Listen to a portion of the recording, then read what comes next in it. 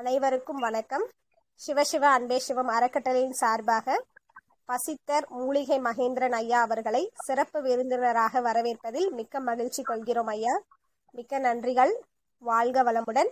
இன்றைக்கு வந்து ஐயா மூலிகை இட்லி தயாரிப்பது எப்படி அப்படின்னு நமக்கு நிறைய வெரைட்டி சொல்லி தர போறாரு. ஸோ எல்லாரும் அமைதியா பொறுமையா இருந்து கேட்டு அதை செய்து சாப்பிட்டு நாமளும் மகிழ்ச்சியோட இருக்கலாம் ஆரோக்கியமா இருக்கலாம். வாங்க கேட்கலாம். நன்றிகள் ஐயா. வாழ்க வளமுடன். நீங்க உங்களுடைய ஆஹ் உரையை வந்து ஆரம்பித்துக்கலாங்க ஐயா. நன்றிகள் ஐயா. வாழ்க பசி வளர்க உணவு. பிரபஞ்சகம் முழுவதும் இயங்கிக் கொண்டிருக்கும் பசி உணவு படைப்பே. நட்சத்திர மண்டலம் முழுவதும் இயங்கிக் கொண்டிருக்கும் பசி உணவு படைப்பே. கதிரவன் முழுவதும் இயங்கிக் கொண்டிருக்கும் பசி உணவு படைப்பே. சந்திரன் முழுவதும் இயங்கிக் கொண்டிருக்கும் பசி உணவு படைப்பே. பூமி முழுவதும் இயங்கிக் கொண்டிருக்கும் பசி உணவு படைப்பே. இயற்கை முழுவதும் இயங்கிக் கொண்டிருக்கும் பசி உணவு படைப்பே. உடல் முழுவதும் இயங்கிக் கொண்டிருக்கும் பசி உணவு படைப்பே. உன் சத்துக்கள் துணையோட நிகழ்ச்சியை நான் துவங்குகின்றேன். பசியும் உணவுமே படைப்பு என்ற உண்மையை உலக மக்களுக்கு உங்கள் சத்துக்கள் துணையோட பசித்தர் மூலிகை மகேந்திரன் எடுத்துரைப்பேன் எடுத்துரைப்பேன். உண்மை என்ற விதையை பூமியில் விதைப்பேன் என்னுடைய தாரக மந்திரம் பிறரறிவை பேசுவதற்கு நான் பிறக்கவில்லை என் சுய அறிவை பேசுவதற்கு நான் பிறந்தேன். இந்த மந்திரம் எதுக்காக சொல்றேன்னா எல்லாரும் கொஞ்சம் புரிஞ்சுங்க தப்பா யாரும் நினைச்சிடாதீங்க. தப்பா நினைக்க மாட்டீங்கன்னு நினைக்கிறேன். ஏன்னா ஒரு சிலர் என்னப்பா இவருக்கு தான் சுய ஹார்மோன் சுரக்குதா மற்றவங்களா சுரக்கலன்ற மாதிரி ஒரு தப்பான சிந்தனை வந்துடும் அது மாதிரி வரக்கூடாது. ஏன் அப்படின்னா கூர்ந்து கவனிச்சு பாருங்க. பிறரறிவை பேசுவதற்கு நான் பிறக்கவில்லை என் சுய அறிவை பேசுவதற்கு நான் பிறந்தேன் தான் என்னுடைய சொந்த ஹார்மோன் சுரந்து நான் வந்து பேச முடியும். என்னுடைய பாடத்தில் பாருங்க. உலகத்தில் ஒரு கடவுளையும் டச் பண்ண மாட்டேன் நான். வணங்க மாட்டேன். ஒரு குருமார் கூட நான் வணங்க மாட்டேன். ஏன்னா அவங்களுடைய அறிவை பேசுவதற்கு இந்த பூமியில் நான் பிறக்கவில்லை. அவங்களுடைய அறிவை நான் பேசினால் என்னுடைய சுய அறிவு தடைபட்டு விடும் உடலில். என்னுடைய உடலுக்கு நான் தவறு செய்தது போல ஆகிவிடும். அந்த தவறு செய்யக்கூடாது. ஒரு காலம் நான் வாழ்ந்தேன். பேரறிவு சிற்றறிவுன்னு பேசுவேன். சிற்றறிவு என்பது பிற அறிவை பேசுவது சிற்றறிவு. எப்படி? புக்கிலையோ குருமார்களோ யாரோ ஒருத்தர் சொல்லிட்டாங்கன்னா அதை பேசுறாங்கன்னா அது வந்து சிற்றறிவு. பேரறிவு என்பது என்னவென்றால் தன்னுடைய உடலுக்குள் என்ன நடந்ததோ தன்னுடைய உடலுக்குள் அஹ், எதை உணர்ந்தீங்களோ ஒ- ஒரு மனிதன் நான் எப்படி வாழ்ந்தனோ அதை தான் போதிப்பேன். இதுதான் பேரறிவு. சொந்த அறிவு. எந்த ஜீவரா எல்லா பூமியில் உள்ள எல்லா ஜீவராசிகளும் சுய அறிவில் வாழும் பேரறிவில் வாழும். புரியுங்களா சிற்றறிவில் வாழாது. ஆனா மனிதன் தான் சிற்றறிவில் வாழுகிறோம். ஏன்னா நம்மள மாத்திட்டாங்க. அ- ஒரு சந்தேகம் வரும் உங்களுக்கு. ஐயா உலகம் முழுவதுமே சிற்றறிவுனா கிடையவே கிடையாது. காட்டுவாசிகள் எல்லாம் பிறர் கருத்தை கேட்கவே மாட்டார்கள்.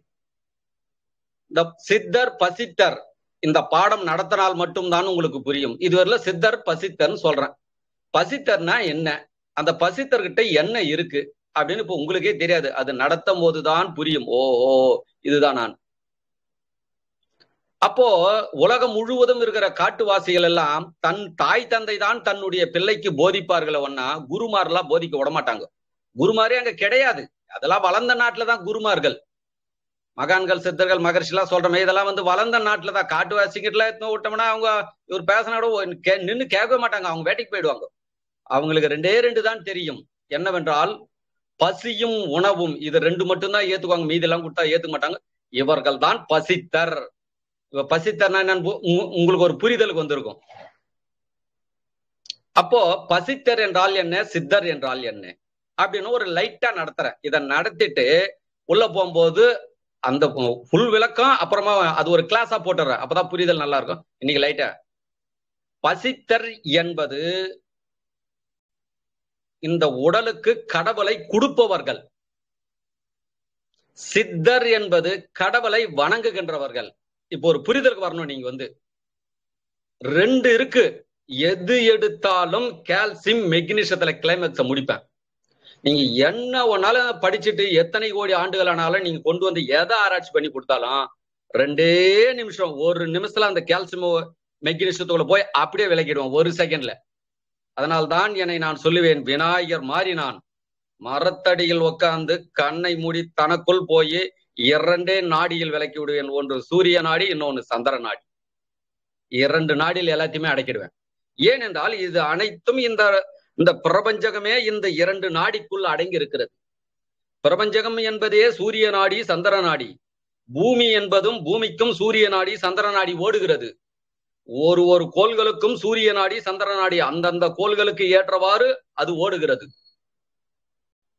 இது உங்களுக்கு எல்லாம் ஒரு பிரமிப்பா இருக்கும். என்னடா இது ஒரு மாறுபட்டு நடத்துறாரு உலகத்துல? எந்த புக்கிலுமே இல்லாத நடத்துறாருன்னா இதுதான் இருக்கு உண்மை. அதனால்தான் உங்களுக்கு ஒரு கருத்தை சொல்லுவேன். ஒன்று இந்த பாடத்தை ஏற்று இதுக்குள் பயணித்து பாருங்கள். சூப்பரா இருக்கும் உங்க லைஃப் இல்லை என்றால் இது புரியவில்லை என்றால் இதை விட்டு விட்டு உங்களுக்கு என்ன புரியுதோ அதுல வந்து பயணிங்கன்னு சொல்லுவேன். ஆனா ஒன்று மட்டும் சொல்கிறேன் மற்றவங்களது தவறு என்று நான் சொல்ல மாட்டேன் எனதை தவறு என்று சொல்லுவதற்கு பூமியில் ஒருத்தருக்கும் அதிகாரம் கிடையாது. தெளிவா பேசுவேன். எந்த தப்புன்னுலாம் சொல்லக்கூடாது. ஒண்ணு ஏத்துக்குங்க அவருக்கு ஒண்ணுமே புரியலங்க அவள்தான் சிம்பிளா விட்டு போயிடுங்க. அவர் தப்பா பேசுறான்லாம் என்ன சொல்லாதீங்க. அது சொல்லவும் கூடாது. உங்களுக்கு அந்த உரிமையை வந்து படைத்தவன் கொடுக்கல. உங்களுக்கு புரியலன்றதுக்காக அதை தப்புன்னு சொல்லிடாதீங்க. எனக்கு புரிஞ்சு போச்சு அதனால தான் நடத்துறேன். ஆனா புரிஞ்சுக்கிறதுக்கு முயற்சி எடுங்கன்னு சொல்லித்தரேன். இப்ப இந்த பூமியில் எட்நூறு கோடி பேர் இருக்காங்கன்னா எட்நூறு கோடி பேர் புரிஞ்சுக்காதே இருக்கிறாங்க. என்னுடைய மாணவர்கள் என் சப்ஜெக்டை புரிஞ்சுன்னு என்னோட கூட தானே இருக்காங்க. அப்போ அவங்களுக்கு புரிஞ்சிடுச்சு உங்களுக்கு புரியல. அதற்காக உங்களுக்கு என்ன சொல்ற ஒரு பயணிச்சு பாருங்க. ஒரு கேட்சு பால் ஒண்ணு வருது பிடிச்சி பாருங்க. பிடிச்சிங்கன்னா லக்கு விட்டுட்டா பரவாயில்ல. அடுத்து ஒரு முறை வரும் அப்போவாது பிடிங்க. எப்போது லைஃப்ல ஒரு முறை பிற வந்து பிறந்தீங்க. ஒரு ட்ரை பண்ணி பாருங்க. புரிஞ்சிடுச்சு உடம்பு ஓகே சொல்லிடுச்சு அப்படின்னா super life body light weight ஆயிடும். எப்போதுமே லைட் வெயிட்டா இருப்போம். எப்போதுமே இன்பமா இருப்பீங்க. எப்போதுமே சிரிச்சுக்கினே இருப்பீங்க. புரியுதுங்களா? எப்போதுமே மகிழ்ச்சி இருக்கும். அப்ப இது ரெண்டுத்தையும் எங்க எடுக்கிறேன்னா வானத்தினிடம் பூமியிடம் வந்து எடுக்கிறேன். ரெண்டு இடத்துல தான் நான் படிக்கிறேன். அதனால தான் எனக்கு உலகத்துல யார் பாடம் எடுத்தாலும் நான் ஏத்துக்க மாட்டேன். நான் ஏத்துக்கிற நாலே பேர் தான். நம்மாழ்வார் நெல் ஜெயராமன் ஐயா சுபாஷ் பாலகர் தமிழர் வேளாண்மை ஞானபிரகாசம் ஐயா. இவங்க நாலு பேரும் என்ன செய்தாங்கன்னா சாமி கும்பிடுன்னு யாருக்குமே சொல்லி கொடுக்கல. சாமியை உடலுக்குள்ள குடுன்னாங்க. என்னவென்றால் அந்த சாமி என்றால் என்ன? அதனால நீங்க புரிஞ்சுங்க. இரண்டு இருக்கு. சாமி கும்பிடுறது ஒன்று. அவங்க கும்பிடுறவங்க கும்பிட்டோம். என்ன ஒண்ணு? சாமிய கொடுக்கறது. இப்ப எனக்கெல்லாம் சாமி எது? கடவுள் எது? என்னை எது படைத்தது என்றால் கத்திரிக்காய் முருங்கா சிறுகீரை அரைகீரை முருங்கீரை முக முகாகரை முழுகிற அரைகீரை. இதுங்கதான் ரசம் சாம்பார் மோர் காரக்குழம்பு. இதுதான் என்னை வளர்த்தது. தாயினுடைய கருவறையில் இருந்து நான் பிறந்ததும் என் தாயினுடைய கருவறையிலேயே இந்த உணவை சாப்பிட்டு தான் நான் வளர்ந்தேன். என் தந்தையோட உடலிலையும் சரி உணவு சாப்பிட்டு தான் நான் வந்து வளர்ந்தேன். என்னுடைய மூலமே எது என்றால் உணவு. இது முன்பே நினைக்கிறேன். தந்தையிடம் பஞ்சபூத உணவை தின்னுகிற அறிவு ஒரு குழந்தை அறிந்தது. தாய்கிட்ட வந்து அறுசுவை உணவை அறிந்தது. அந்த குழந்தைக்கு ஒன்னே ஒண்ணு தெரியும். இந்த உடலில் பசி எடுத்தால் அந்த பசிக்கு உணவு கொடுப்பதற்கு தெரியும். உணவு கொடுத்துன்னே இருக்கும். உணவு கொடுக்கலாம் சிக்கல் வந்துடும் அந்த உணவுல ரெண்டா பிரிச்சு சொல்ற. தந்தை உணவு ஒண்ணு தாய் உணவு ஒண்ணு. இது இது முன்பே நடத்திருக்க உங்களுக்கு புரிஞ்சிருக்கும். இப்போ இன்னும் உங்களுக்கு நல்லா தெளிவா புரியும். அப்போ இந்த உடலுக்கு கொடுப்பது ஒன்று வணங்குவது ஒன்று. இப்ப கடவுளை பத்தி புரிஞ்சல் வந்துச்சா ரெண்டு கால்சியம் மெக்னீஷியம் இது புரிஞ்சுக்கோ இப்ப உங்களுக்கு புரியும். ஓஹோ கடவுளை வணங்குறது ஒண்ணு இருக்குது சாமி கும்பிடுறது ஒண்ணு இருக்கு கடவுளை கொடுப்பது ஒண்ணு இருக்கா? ஓஹோ இந்த உடல் என்பது கடவுளால் படைக்கப்பட்டதுன்னு எல்லாரும் சொல்றோம். அப்ப இந்த உடலுக்குள்ள கடவுள் இருக்காரு இல்ல? கடவுள் இருந்தா கடவுளை தானே கொடுக்க முடியும். வேற எப்படி ஒண்ணு கொடுக்க முடியும் நீங்க? கடவுள் கடவுளை தானே ஏத்துக்குவாரு. அப்ப இந்த உடலுக்குள்ள நம்பிக்கை உங்களுக்கு இருக்குல்ல கடவுள் இருக்காரு. கடவுள் தான் படைத்தாரு. ஆண்டவர் தான் படைத்த படைத்தாரு. இறைவன் தான் படைத்தாரு. தெய்வம் தான் படைச்சதுன்னு சொல்றீங்களே அப்ப அதை கடவுள்னு சொல்லலாம் தெய்வம்னு சொல்லலாம் இறைவன் சொல்லலாம் ஆண்டவர்னு சொல்லலாம் எதை வேணாலும் சொல்லிக்கலாம்.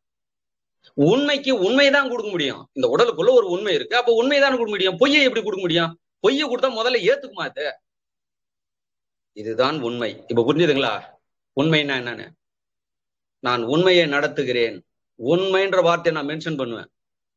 நிறைய பேர் இதை மென்ஷன் பண்ண மாட்டாங்க. ஏன்? அவங்க உண்மை அவங்க அதுக்குள்ள போனாதானே வரும் அந்த வார்த்தை. இப்போ கடவுள் வணங்குவது ஒரு பாற்று. கடவுள் கொடுப்பது ஒரு பாற்று. கடவுள் வணங்குவது பூமியில் இருக்கிற எட்நூறு கோடி பேர் இருக்காங்கன்னா இல்ல அதுல நானே ஒருத்தன். நான் கடவுள்லாம் வணங்குறதில்ல கடவுளை கொடுக்குறேன்.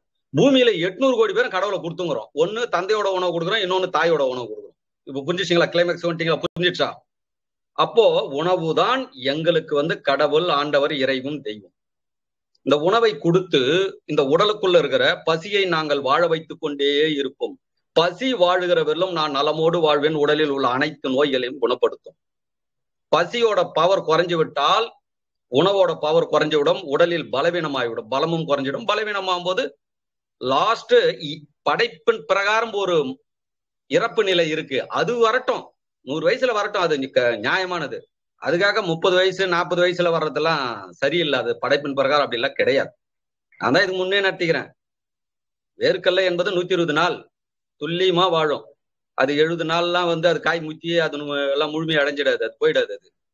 புரியுங்களா? நெல் பயிருன்றது மூணு மாசம் பயிர் இருக்குது ஆறு மாசம் பயிர் இருக்குது. அது ஆறு மாசம் பயிர் விதைச்சிட்டு அது மூணு மாசத்துலயே நெல் வைக்குமானா வைக்காது. ஆறு மாசத்துல தான் வைக்கும் அது. புரியுங்களா? அப்போ ஒன்னு ஒண்ணுத்துக்கு ஒரு ஒரு காலங்கள் வச்சிருக்கு. அந்த காலத்தை அப்ப மனிதனுடைய உயிர் வந்து நூத்தி இருபது வருஷம் ஒருத்தர் வாழ்றாருன்னா அப்ப எல்லாருக்கும் நூத்தி இருபது வருஷம் தான் இருக்கு. ஆனா நாம செய்த தவறினால் நம்மளுடைய உடலில் நோய்கள் வந்து நமக்கு ஆயுள் காலம் குறைந்தது. இந்த காலத்தை இந்த பாடத்தை ஏன் எடுக்கிறேன் தெரியுங்களா? எனக்கு என்ன புரிய வச்சு தெரியுமா அந்த வானமும் பூமியும்? இந்த மூலிகை இட்லிக்குள்ள உங்களை ஏன் இழுக்கிறேன் தெரியுங்களா? மூலிகை இட்லி சொல்லி கொடுப்பேன் மூலிகை தண்ணி சொல்லி. இப்போ நம்ம சராசரி சொல்லுவது எழுபது வயது மிஞ்சி போனா எண்பது. அதெல்லாம் சராசரி வாழ்றாங்க.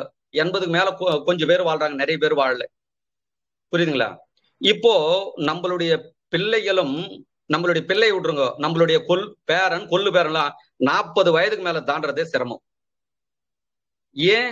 ஃபுல்லா உணவு கெட்டு போச்சு. ஃபுல் கேன்சர் வரும் பாரத நாட்டில் ரெண்டு நாட்டில் கேன்சர் அதிகமா வரும்.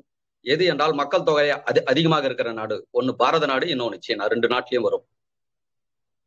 அதை கவனிக்கிறவர்கள் அதை கவனிக்கிறார்கள். இந்த ரெண்டு நாட்டில் மருத்துவம் தேவை கேன்சர் என்ற மருத்துவம். அவங்க டெவலப்மெண்ட் பண்றாங்க. இப்ப எங்களுக்கு என்ன ஒரு அறிவு கொடுக்குது? எங்களுக்கும் என்னுடைய மாணவர்களுக்கும். இந்த மக்களை நலமோடு வாழ வைக்க வேண்டும் என்றால் உணவு மாற வேண்டும். பாரம்பரிய உணவு நீங்கள் மீட்டெடுக்க வேண்டும். பாரம்பரிய விதைகளை மீட்டெடுத்து அதை பயிர் அதை விவசாயம் செய்து உலக மக்களை கொடுத்து காப்பாற்ற வேண்டும். உலக மக்களுக்கு பசியும் உணவுமே படைப்பு என்று சொல்லு. உங்க குழந்தைங்களா நல்லா வாழணும் பேரம்பேத்தெல்லாம் நல்லா வாழணும் அவங்க அவங்கள விதைய வந்து சேர்க்க சொல்லு. பணத்தை சேர்த்து வச்சுட்டு போறதால பணத்தை சாப்பிட முடியாது உணவு தான் சாப்பிட முடியும். இப்போ எல்லாருமே தவம் மெடிடேஷன் ஆசிரமங்கள் போறாங்க. விவசாயிங்க நாங்களும் மொத்த பேர் தவத்து கொண்டோம்னா யார் உணவு உற்பத்தி பண்றோம் மொத்த பேர் பட்னியா இருக்கணுமே? நாங்க தவத்துக்கு வராம இருக்கிறதால தான் இப்போ இவங்களாம் தவத்துக்கு போய்ங்கிறாங்க. நாங்க மொத்த பேர் விவசாயிக்குள்ள தவத்துக்கு கொண்டோம்னா அவ்வளவுதான். உணவு உற்பத்தி ஒரு ஆளுங்க நாங்களும் உட்காண்டோம் நாங்க கூட தவ பண்றாங்க நாங்க உணவு உற்பத்தி பண்ண மாட்டோங்க. மொத்த பேரும் உணவே கிடையாது பட்னி தான். என்ன அவன் நிலைமை? புரியுதுங்களா? அப்போ ஒரு விவசாயி என்பவன் படைப்பனிடம் வேலை செய்கின்றவன். இதைதான் புரிஞ்சுங்க இதை புரிஞ்சுக்கின்னு இப்போ கடவுளை வணங்குவது ஒன்று கொடுப்பது ஒன்று. இப்போ கடவுளை வணங்குவது பாடம் நான் நடத்த மாட்டேன். புரிய வைக்கிறேன். ஆனா கடவுளை கொடுக்கிற பாடம் தான் இப்ப நடத்த போறேன். சரி. இப்ப புரிஞ்சிடுச்சு. இப்போ உள்ள போலாங்களா மூலிகைட்டுக்குள்ள சரி. இப்போ உணவு என்றால் என்ன? உணவுக்குள் என்ன இருக்கு? எனக்கு உடலில் பலவிதமான நோய்கள் வந்தது. பல குருமார்களிடம் போனேன். எல்லார்கிட்டையும் போய் எல்லாருமே என்ன சொன்னாங்கன்னா புத்திமதி சொன்னாங்க. இப்படி பண்ணுங்க இதை பண்ணுங்க யோகா பண்ணுங்க தவம் பண்ணுங்க. எதை செஞ்சாலும் உடம்பு நல்லாவல. அப்புறம்தான் ஒரு புரிதல் வந்து ஏன் எங்க தவறு நடக்குது ஏன் நோய் வருகிறது அப்படின்னு ஆராய்ச்சி பண்ணி எல்லா மிஷினுக்குள்ளும் போயிட்டு வந்துட்டேன் நான். இருக்கிற பெரிய பெரிய ஹாஸ்பிட்டல் இருக்கிற மிஷினுக்குள்ளாம் போயிட்டு வந்துட்டேன். நான் சம்பாரிச்சதெல்லாம் மருத்துவத்துக்கே செலவு செஞ்ச ஒரு காலம். அன்று சிற்றறிவில் வாழ்ந்தேன் மருத்துவத்துக்கு செலவு செய்தேன். இன்று பேரறிவில் நான் வாழ்கிறேன். பதிமூணு வருஷம் அது ஹாஸ்பிட்டலுக்கு போயிட்டு போனாங்க குடும்பத்தோட யாருமே போக மாட்டோம். இந்த குடும்பத்தோட போவாத காரணம் என்ன? நாங்கள் உண்மையை கெட்டியாக பிடித்து கொண்டோம். அதுக்காக ஐயா மருத்துவம் இல்லாமல் வாழ முடியுமானா எமர்ஜென்சிக்கு எடுத்துக்கங்க. எமர்ஜென்சிக்கு எடுத்துங்க நான் வேணாம்னு சொல்ல மாட்டேன். மருத்துவம் இல்லாமல் வாழ முடியாது. ஆனா முழுக்க முழுக்க மருத்துவத்தையே நாம வந்து நான் மருத்துவ கிளாஸ் நடத்தினா கப்புனு வெளியே ஓடுவேன். ஏன்னா மருத்துவத்தை பத்தியே பேசினா முதல்ல எனக்கு நோய் வந்துடும் இப்ப எங்கெல்லாம் பாருங்க. பருப்பு அரிசி காராமணி தோவரை பசி உணவு மூலிகை டீ மூலிகை சூப் இதே பேசினுப்பேன். புரியுதுங்களா? அப்பதான் அந்த ஹார்மோன் சுரக்க. நீங்க வெறும் நோயை பத்தி சொல்லியிருந்தீங்கன்னா இதுக்கு முன்பே ஒருத்தர் சொல்லியிருக்காரு. ஒரு இருபத்தி ஐந்து வயது பெண் கேன்சரை வந்து ஆராய்ச்சி செய்தது. எந்த நேரமும் அந்த கேன்சரை பத்தி ஆராய்ச்சி செஞ்சு செஞ்சு செஞ்சு அந்த பெண்ணினுடைய உடலில் கேன்சர் பெருகிவிட்டது. இறந்தே இறந்துச்சு தேவையாது இட்லியும் தோசையும் பூரியும் பொங்கலையும் வடையும் பாயாசமும் போண்டாவை தின்னுட்டு நல்லா வாழுன தேவையில்லாத வேலை நீ எதை சிந்திக்கிறாயோ அதுவாக நீ மாறுவாய். இது யாரும் இல்லை ஈழர் பாஸ்கரையா தான் சொன்னது. அப்பயே நான் புரிந்து வெளியே வந்துட்டேன். அப்பா இதுக்கு மேல இந்த நோயை பத்திலாம் நம்ம பேசக்கூடாது சாமி நமக்கு தேவையில்லாத வேலை. நோயை பத்தி நான் பேசவும் மாட்டேன். அதிகம் ஊருக மாதிரி வச்சுக்குவேன். லைட்டா சொல்லி தருவேன். நோயை பத்தி பேசவும் மாட்டேன். நோயை பத்தி பேசுற கிளாஸை அட்டன் பண்ணவும் மாட்டேன் நான். தேவையில்லாத வேலை. எனக்கு நானே சூனி வச்சிருக்காது அது. இப்ப நான் பாருங்க வெறும் சத்து பத்தியே பேசுவேன். புரியுங்களா அப்போ இது இது இது போல நோய்கள் வந்து இது எல்லாமே அப்புறம் லாஸ்டா எங்க தவறு நடக்குது என்றால் உணவில் தவறு நடக்கிறது அப்படின்னு புரிதலுக்கு வந்தேன். புரிதல் வந்து படிப்படியா ஆராய்ச்சி செய்ய ஆரம்பிச்சேன். அப்போ வாழை இலையில் சாப்பிடும்பொழுது என்ன நடக்கிறது? மூலிகை இட்லின்னா என்ன? அப்படின்னு கொஞ்சம் கொஞ்சமா நான் ஆராய்ச்சி செய்யறேன் ஆராய்ச்சி செய்யும் போது முதல் முதல் வாழை இலையில் தான் நான் ஆராய்ச்சி செஞ்சேன். வாழை இலையில் வந்து முன்னோர்கள்லாம் சொல்லுவாங்க வாழை இலையில சாப்பிட்டோம்னா உடம்பு நல்லா ஷைனிங்கா இருக்கும் நோய் எதிர்ப்பு சத்தா இருக்கும் அப்படின்னு சொன்னாங்க. சரி அந்த நோய் எதிர்ப்பு சத்துன்னா என்ன? எல்லாரும் வாழை இலை சாப்பிட்றாங்க. வாழை இலையிலிருந்து இந்த உடலுக்கு என்ன கிடைக்கிறது? அதை கடந்து உள்ள போல. நானும் போவாததான் இருந்தேன். அப்புறம் தான் கடந்து உள்ள போனேன். போகும்போது அந்த பச்சையம்ன்ற ஒரு சத்து அந்த பச்சையம்ன்ற சத்து அதுக்கு முன்னோடி எது என்றால் கதிரவனுடைய சத்து. கதிரவனுடைய சத்தை தான் உள்வாங்கி அந்த தாவரம் என்பது பச்சையமாக மாறுகிறது. புரியுங்களா? அந்த பச்சையம் என்ற சத்து இந்த உடலுக்கு தேவை. அப்போ முதல் முதல் வாழை இலையில வந்து சாதத்தை வெடிச்சு சூடா போட்டு சாப்பிட்டேன். சாப்பிட்டதும் ஒரு பத்து சதவீதம் கருகுச்சு. அதுக்கு மேல அது கருப்பா இல் கருப்பாகல. அப்படியே அது வெளியே போட்டேன். இன்னைக்கு மொத்த பேரும் அப்படிதான் சாப்பிட்டுக்கிறீங்க. இப்ப நாளையில தான் மாற போறீங்க. இன்னைக்கு சப்ஜெக்டை கேட்டுட்டு நாளையில இருந்து உங்க இலை பச்சையா இருக்காது. வேற கலர்ல தான் வெளியே போவோம். எல்லாருமே இந்த கிளாஸ் அட்டன் பண்றாங்க அத்தனை பேருமே வாழ்நாள் முழுவதும் செய்யலனால ஒரு மனுஷன் பேசணடா நமக்காக. அந்த மனுஷனுக்காக ஒரு நாளைக்கு செஞ்சு சாப்பிடுவோம். அப்படின்னு கண்டிப்பா செய்வீங்க. குழுவில் இருக்கிறவங்க அத்தனை பேருமே செய்வீங்க கண்டிப்பா. என் வீட்டுல இன்னைக்கும் சரி காமெடியாவும் நடத்துவேன். என் வீட்டுல வந்தா யாருமே ரொம்ப நாள் இருக்கவே மாட்டாங்க. மிஞ்சி போனா அஞ்சு நாள் அதுக்கு மேல இருக்கவே மாட்டாங்க. ஏன்னா வந்தா மஞ்சள் கலர் இட்லி போடுவேன். ஐயோயோ தாங்க முடியலடா சாமி. மறுநாள் பச்சை கலர்ல போடுவேன். அதுக்கு மறுநாள் ப்ளூ கலர்ல போடுவேன். அதுக்கு மறுநாள் சிவப்பு கலர்ல போனோம் ஐயோ ஐயோ தாங்க முல்லடா மகேந்திரன் வீட்டுக்கு போனா வெள்ளை கலர் தோசையே பார்க்க முடியாது வெள்ளை கலர் இட்லியே பார்க்க முடியாது. புரியுதுங்களா? கலரா தான் இருக்கு எப்பொழுதுமே. அது எப்படின்னு படிப்படியா உங்களுக்கு சொல்லித்தரேன். இன்னைக்கு முடிந்த அளவுக்கு சொல்லி கொடுத்துறேன். மீதி வந்து அடுத்த நிகழ்ச்சியில உங்களுக்கு கண்டினியூ பண்றேன் அது வந்து. ஆனா இதை கண்டி பிடிச்சிட்டீங்கன்னா உங்க குடும்பமே முழுக்க முழுக்க ஆரோக்கியத்தில் இருக்கும். புரியுதுங்களா? அப்போ அந்த ஆராய்ச்சி செய்ய பத்து சதவீதம் கருத்து இருந்து தொண்ணூறு சதவீதம் பச்சையா இருந்தது வெளியே போட்டேன். அப்படியே யோசனை பண்ண மாடு வாழ்த்துச்சு அப்பா பச்சையாகிறப்பா நல்லா சாப்பிட்டு சத்தெல்லாம் நமக்கு குதிரை சக்கியை உள்ள தின்னுங்கிறான். எப்படியா தின்னு போட்டோம் முடியும் நமக்கு சத்து கிடைச்சதுன்னு மாடு என்னை பார்த்துட்டு வாழ்த்திட்டு போயிடுச்சு. யோசனை பண்ணேன். மாடு என்னடா இவ்வளவு சூப்பரா சாப்பிடுத? சத்துக்குள்ள வெளியே ஊத்துட்டு போலதுன்னு அப்புறம் அப்படியே கொஞ்சம் கடந்து போயிட்டு ஒரு வாழை இலையை வாங்கிட்டு வந்து ரெண்டா கட் பண்ணேன் ஒரு வாழை இலையை வைத்து சாதம் போட்டு சாப்பிட்டேன் ரெண்டாவது அந்த வாழை இலைய கொண்டு வந்து ரெண்டா கட் பண்ணிட்டு ஒரு பாதி வாழை இலையில சாதத்தை போட்டு சுட சுட சாதத்தை போட்டு இன்னும் பாதி இலையை எட்டு வச்சு மேல கையில அப்படியே கையில பிடிச்சிக்கினேன். ஒரு மூணு நிமிஷம் நாலு நிமிஷம் முடிச்சுன்னா அந்த அனல் கிழவும் அடிக்கும் மேலேயும் அடிக்கும். அடிச்சு பார்த்தோம்னா கொஞ்சம் வந்து ஒரு முப்பது சதவீதம் கருப்பாச்சு. பார்த்தேன். ஆஹா.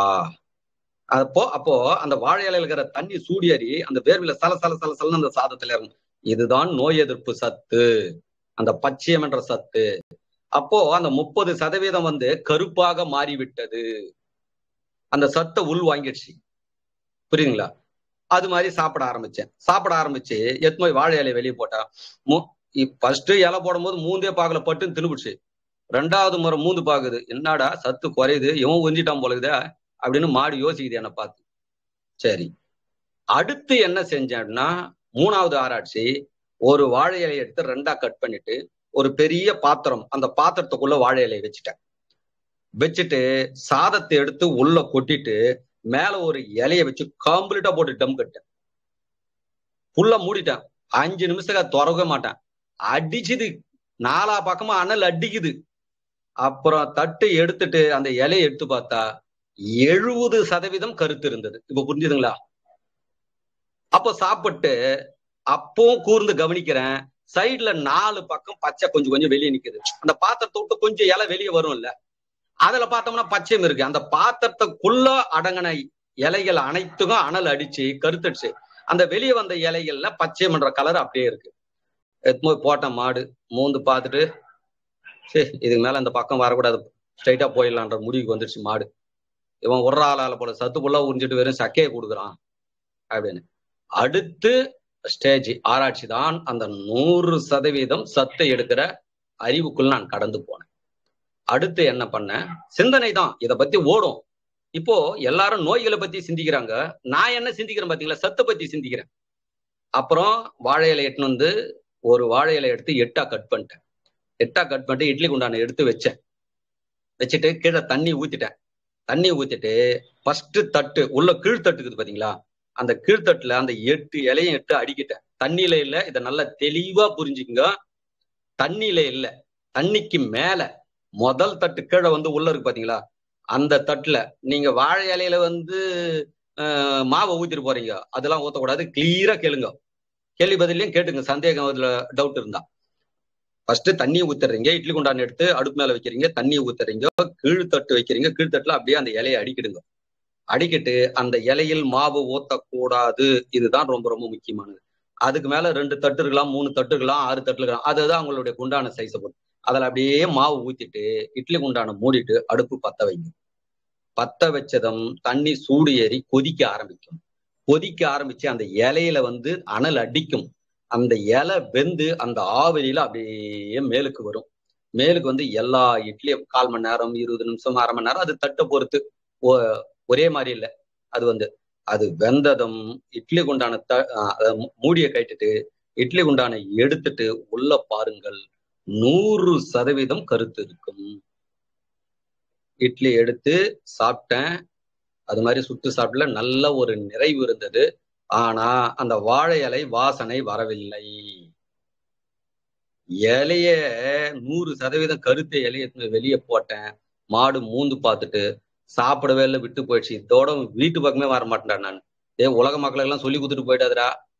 அப்புறம் எங்களுக்கு உணவே கிடைக்காது. நாங்க காட்டுல போய் பச்சை பில்லு தான் வேணும் போலக்குது வாழை இலையே கிடைக்காது போலக்குது நீ எல்லாருக்கும் சொல்லி கொடுத்துட்டான்னு மாடு எனக்கு புத்திமதி சொல்லுது. ஒரு நகைச்சுவையா நடத்துறேன். புரியுங்களா சீரியஸா போவோம் எப்பவுமே என் பாடம் நீ கொஞ்சம் நகைச்சுவையா நடத்தலான்றதுக்காக. புரியுங்களா?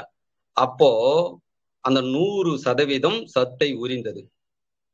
இட்லி. அதுல வந்தது சாப்பிட்டேன். ஒரு மன நிறைவு இருந்தது ஆனந்தம் இருந்தது மகிழ்ச்சி இருந்தது. உடலில் ஒரு மாறுபற்ற ஒரு எனர்ஜியை நான் உணர்ந்தேன். அந்த பச்சையம் என்ற சத்து ஏன்னா இது இது இது இதெல்லாம் கடந்து அதுக்கு மரியாதை கொடுத்து அதுக்கு முக்கியத்துவம் கொடுத்து போகும்போதுதான் அந்த உடலில் அந்த ஹார்மோன்கள் சுரக்கும். அது பேரின்பமாக இருந்தது. அது வந்து அடுத்து வாழை இலையில சாப்பிட்டு அடுத்து வாழ்நாள் முழுவதும் வாழை இலையிலேயே சாப்பிடக்கூடாது. அடுத்து அடுத்து வேற ஒரு ஆராய்ச்சி. அடுத்து என் வீட்டு எழுத்தா அப்படி வந்து பவளமல்லி மரம் இருக்கு. அந்த இலையை வந்து ஒரு பத்து இலைய இருபது இலை உடச்சுன்னு வந்து அதே மாதிரி இட்லி குண்டான்ல வச்சு அடுத்து ஒரு மூணு நாள் கழிச்சு இட்லிக்கு மாவு அரைச்சாங்க. மூணு நாள் கழிச்சு அதை நான் வந்து அந்த பவளமல்லியோட இலைய வந்து சாப்பிட்டேன். பவளமல்லி இலை என்பது அவ்வளவு வந்து உடம்புக்கு நல்லது. ரொம்ப ஒரு நோய் எதிர்ப்பு சத்து அது சாப்பிட்டேன். சாப்பிட்டதும் இலை கருத்துடுச்சு. சாப்பிட்டேன். இட்லி சு அடுத்து கொய்யா இலையை வச்சு சுட்டேன். அடுத்து மா இலையை வச்சு சொ சுட்டேன். அடுத்து வந்து துத்தி இலையை வச்சு சுட்டேன். அடுத்து வந்து அரசன் இலை ஆலம் இலை இது மாதிரி நம்மள வீட்டை சுத்தி இருக்கிற எல்லா இலைகளையும் ஒரு ஒரு இலைகளாக வச்சு இதுக்கே எனக்கு அஞ்சு மாசம் ஆகி போச்சு என்னுடைய ஆராய்ச்சி யாருக்கும் வெளியே கொடுக்கல நான். ஆராய்ச்சியில ஓடிங்குது இது மாதிரி அஞ்சு மாசம் ஆகி போச்சு சரி. இப்போ வந்து ஒரு ஒரு இலையா சுட்டு அந்த டேஸ்டுகள் சா வந்து அதை உடல்ல அனுபவித்து உடல்ல நோய் எதிர்ப்பு சக்தி பெருகி அடுத்த ஸ்டேஜ் இப்ப என்ன சொல்லி கொடுத்தவங்களுக்கு ஒரு ஒரு இலையாக சுட்டு சாப்பிட ஆரம்பிச்சேன். அடுத்து என்ன பண்ண? ரெண்டு கொய்யா இலையும் துத்தி இலையும். இது ரெண்டுத்தையும் வச்சு இது ஒரு பத்து இலை அது ஒரு பத்து இலை இருபது இலையை அடிக்கிட்டு அது சுட்டு சாப்பிட்டேன். அது மாதிரி ரெண்டு ரெண்டு இலையா வச்சு அடுத்து கொஞ்ச நாள் அதுல கடந்து போயிட்டு அடுத்து மூணு இலை வச்சேன். ஆலய இலை ஒண்ணு அரச இலை ஒண்ணு ஒய்யா இலை. நமக்கு என்ன கிடைக்குது அந்த ஸ்பாட்ல புரியுதுங்களா? வில்வ இலையை கூட வைக்கலாம். புரியுங்களா ஸ்பாட்ல என்ன கிடைக்குது? இது எல்லாத்தையும் சாப்பிட்டு பார்த்துட்டு ஒரு புரிதல் வந்துட்டு நான் வந்து மற்றவங்களுக்கு சொல்ல ஆரம்பிச்சேன். சொல்ல ஆரம்பிச்சதை ஒரு பாட்டிக்கு சொன்னேன். அம்மா இது மாதிரிலாம் நீங்க அந்த அம்மா கொஞ்சம் முக்கியத்துவம் கொடுத்து என்ன கேட்பாங்க கொஞ்சம். அவங்களுக்கு வந்து நான் சொல்லி கொடுத்தேன் இது மாதிரி வந்து செஞ்சு சாப்பிடுமா அந்த அம்மா கேட்டுட்டு வாழை இலையை வச்சு செஞ்சுட்டு எல்லாம் செஞ்சுட்டு ஒரு கொஞ்ச நாள் கழிச்சு அந்த அம்மாவை சந்திக்கிற நேரம் வந்து ஏம்பா என்னப்பா நீ வாழை இலையை வச்சு செய்யணும் அடுத்து வந்து துத்தி இலையை வச்சு செய்ய மா இலையை வச்சு செய்ய கொய்யா இலையை வச்சு செய்யணும் இது மாதிரி உங்க வீட்டை சுத்தி இருக்கிற எல்லா இலையும் வச்சு செஞ்ச ஒண்ணுத்துல கூட அந்த வாசனையே வரலையேப்பா. உண்மையா சொல்றேன் அந்த சத்து அதுல ஏறுதா இல்ல நீ ஏமாத்திரியா என்னன்னு கேட்டாங்க. அந்த கேள்வி நியாயமான கேள்வி. அந்த கேள்வி கேட்டவருக்கு தான் அடுத்த ஸ்டேஜ் ஆராய்ச்சிக்கு போறேன். அந்த அம்மா அந்த கேள்வி கேட்கவில்லை என்றால் ஆராய்ச்சிக்கு போயிருக்க மாட்டேன். நிகழ்ச்சி முடிஞ்ச பிறகு இதுலயாவது கேள்வி கேளுங்க. நான் கொஞ்சம் வளருவேன் இன்னும் கொஞ்சம் ஏற்கனவே வளர்ந்துட்டு இருக்கிறேன் இன்னும் கொஞ்சம் வளருவேன். கேள்வி கேளுங்க. அந்த அம்மா கேட்ட பிறகு என்ன பண்ண போயிட்டு அடுத்து மாவு ஆட்டினாங்க. இட்லிக்கு ரெடி ஆச்சு. இட்லிக்கு ரெடி ஆனதும் வேப்பில ஒரு கொத்து உடச்சின்னு வந்தேன். இதுதான் ரகசியம். வேப்பில ஒரு கொத்து உடச்சின்னு வந்து இட்லி குண்டாரில் வச்சுட்டு ஒரே ஒரு தட்டுல மாவை ஊற்றினேன் ஊத்திட்டு பத்து நிமிஷம் இட்லி வந்த பிறகு எடுத்து சாப்பிட்டேன். கசப்பு சாப்பிடவே முடியல. இப்போ புரிஞ்சுதுங்களா? அந்த அம்மா கிட்ட சொன்னேன். சரிம்மா கொஞ்ச நாள் கழிச்சு அந்த அம்மாவை சந்தித்தேன். அம்மா வேப்பிலைய வச்சு நீ சுட்டு பார்த்துட்டு நீ அப்புறமா சொல்லுமா அப்படின்னு. சரி தம்பி உன்னை செக் பண்றேன் தம்பின்னு அந்த அம்மா என்ன பண்ணாங்க? அடுத்த ஆராய்ச்சிக்கு அவங்க வீட்டுல மாவு இருந்ததும் இட்லி சுடுறதுக்காக வேப்பிலைய நல்லா ஒரு நாலு கொத்து உடச்சு உள்ள வச்சுட்டு நான் பாருங்க உசாரா நாள் ஒரு தட்டுல மாவு ஊத்தினேன். அந்த அம்மா இருக்கிற தட்டுல மாவு ஊத்தி குடிச்சு ஆர்வத்துல. நல்லா வேப்பிலைய வச்சு உள்ள வச்சுட்டு அடுப்பு பத்த வச்சது இட்லி வந்தது. மேல் தட்டுல இருக்கிற இட்லியும் கசக்குதான். ரெண்டாவது தட்டுல இருக்கிறதையும் கசக்குதான். மூணாவது தட்டுல இருக்கிறது ஒரு புலம்புல. ஐயோயோ மொத்த இட்லியும் வீணா போச்சாப்பா சாப்பிடவே முடியல அடுத்து அந்த அம்மா சந்திக்கும் போது கசக்குதுப்பா. இப்போ புரிஞ்சுதாம்மா. நான் இப்ப சொல்லி கொடுத்ததெல்லாம் உங்களுக்கு தோற்பு சத்து. புரியுங்களா? அதனால அது அதிகமா அதுல காட்டாது. புரியுங்களா? உங்களுக்கு காரத்தன்மையான இலையும் சொல்லி கொடுக்கல கசப்பு தன்மையான இலையும் இலையும் நான் சொல்லி கொடுக்கல. தோற்பு சத்தானது மட்டும்தான் இப்ப சொல்லி கொடுத்தேன். உங்களுக்கும் அதான் நான் சொல்லி கொடுத்துன்னு வந்தேன் இப்போ வந்து நான் இலை. இலையெல்லாம் கூர்ந்து சிந்திக்கணும். நான் என்னென்ன இலைகளை சொல்றேன் அதுக்குள்ள என்ன சுவைக்குதுன்னு கூர்ந்து கவனிக்கணும். அப்போ இது மாதிரி வந்து அந்த அம்மா ஒத்துக்குனாங்க. இப்போ ஒத்துக்கிறோம்பா. அப்போ கசப்புன்ற சத்து இட்லிக்குள்ள ஏறுதுன்னா தோற்புன்ற சத்தும் ஏறுகிறது எல்லா சத்தும் அதுக்குள்ள ஏறுது. அப்படின்னு அந்த அம்மாவும் ஒத்துக்கினாங்க. ஒத்துக்கினது இது எல்லாம் ஆராய்ச்சி பண்ணிட்டு அப்புறம் தான் இதை கொண்டு போய் ஈழர் பாஸ்கர் ஐயாட்ட கொடுத்தேன். கொடுத்துட்டு ஐயா இது மாதிரி மூலிகை இட்லி வந்து ஆராய்ச்சி பண்ணேன் இது மாதிரி எல்லாமே செஞ்சுட்டு லாஸ்ட்ல வேப்பிலையும் வச்சு செஞ்சு பார்த்துட்டு கசப்பு தன்மை ஏறுகிறதுங்க ஐயா அப்படின்னு எல்லாம் ஆராய்ச்சி பண்ணி கு- கொடுத்த பிறகுதான் அப்போ வந்து புக்கு வந்து அவர் அப்பதான் புக்கு வெளியிடுறாரு. புக்கு வெளியே வருது. அதுக்கு முன்னாடி புக்கு இல்லை. அப்பதான் வந்து புக்கு வெளியிட்டோம். அந்த புக்கில் தான் இதை வந்து முதல் முதல் வெளியிட்டாப்ல. அது வந்து ஆரோக்கியமும் புக்கு பேர் கூட நான் மறந்துட்டேன் நான். அவருடைய புக்கு வெளியே வந்தது கொஞ்ச நாள் ஒரு மூணு வருஷம் புக்கு இருந்தது. அப்போ அந்த புக்கில் வந்து அதை வந்து வெளியிட்டார். அப்போ வந்து அதுக்கு வந்து ஐயா இதுக்கு என்ன பேர் வைக்கலாங்கன்னா மூலிகை இட்லின்னு பேர் வைங்கன்னு சொன்னேன். அவர் வந்து மூலிகை இட்லின்னு வச்சா பார்க்க மாட்டாங்க. ஒரு வித்தியாசமான பேர் வைக்கணும். அவங்க அப்பதான் சிந்தித்து அதை நோண்டுவாங்க. செல்போன் யூடியூப்லயே ஏத்திட்டாரு. இன்னும் இருக்கு அதுல வந்து மேட் இட்லி அப்படின்னு பேர் வச்சார் அவர். என்னங்க ஐயா மேட் இட்லின்னு வைக்கிறீங்க? மகேந்திரன் அண்ட் டெய்லர் நான் வந்து அப்ப டெய்லர் வேலை செஞ்சுன்னு இதை ஆராய்ச்சி பண்ணேன். இப்ப மேட் இட்லின்னு போடுங்க ஃபர்ஸ்ட் என்று தான் காட்டும். டெய்லர் பாஸ்கர் அதுல மேட் இட்லின்னு என்னை பத்தி அருமையா பேசியிருப்பார் அதுல. புரியுங்களா அமைதி ஆரோக்கியம் புக்கு அந்த புக்கில் வெளியே வந்திருக்கு அது வந்து. அப்புறம் இதை பத்தி எல்லாமே அவரும் இது செஞ்சு சாப்பிட்டு பார்த்துட்டு அதை வந்து பாஸ்கரையா வெளியிட்டாங்க. இப்ப புரியுதுங்களா? அப்ப என்ன அப்படின்னா மேட் கொடுங்க. மகேந்திரன் அண்ட் டெய்லர் கண்டுபிடித்த ரகசியம் அப்படின்னு இத பல பேர்கள் ஹோட்டல்ல சொல்லி இன்னைக்கு சின்ன ஹோட்டலுங்கள தான் இதை முக்கியத்துவம் கொடுத்து செய்யல. இன்னைக்கு பெரிய பெரிய ஹோட்டலுங்கள்ல மூலிகை இட்லி. ஒரு பெரிய பெரிய நடிகர்லாம் இருக்காங்கன்னு வச்சுங்களேன். அந்த நடிகருங்கெல்லாம் வந்து போய் சாப்பிட்ற ஹோட்டலுங்களை பார்த்தா இப்ப நான் சொன்ன சப்ஜெக்ட் தாங்க ஓடிங்குது. எல்லாம் மூலிகை இட்லி மூலிகை தோசை இதை தான் அவங்க சாப்பிட்டுன்னு என்ன பண்றாங்க? வசதி இருக்கு. உடம்ப பாதுகாக்கிறாங்க. இந்த சப்ஜெக்டை யார் எடுத்தாங்க பெரிய பெரிய ஹோட்டலுக்காரங்க எடுத்துனா சஸ்பென்ஸா வச்சுக்கிறாங்க யாரும் பேசல. ஏன்னா யூடியூப்ல பார்த்து நிறைய பேர் ஆராய்ச்சி பண்ணி ஆனா நிறைய பேர் வாழ்த்து சொன்னாங்க. ஐயா நாங்க எல்லாமே செய்ய ஆரம்பிச்சிட்டோங்க ஐயா. எங்க ஹோட்டல் எல்லாம் செஞ்சு கொடுக்குறோங்க ஐயான்னு எனக்கு ஒரு வாழ்த்து தெரிவிச்சாங்க. கொஞ்சம் பேர் ஃபோன் பண்ணி. இதுதாங்க படிப்படியா என்னுடைய ஆராய்ச்சி. இது மாதிரி நீங்க வந்து உங்களுடைய வீட்டில் நீங்க வந்து இதை வந்து எப்படி உங்களுக்கு என்ன சூழல் இருக்கோ அதற்கு ஏற்றவாறு நீங்க வந்து செஞ்சு அந்த பச்சையம் என்ற சத்தை உங்களுடைய உடலுக்கு கொடுங்க. ஒன்று ஒன்னா செக் பண்ணுங்க. அடுத்த ரெண்டு ரெண்டா செக் பண்ணுங்க. இது மாதிரி நீங்க வந்து செக் பண்ணுங்க. செக் பண்ணிட்டு இது வந்து மூலிகை கலந்த இட்லி.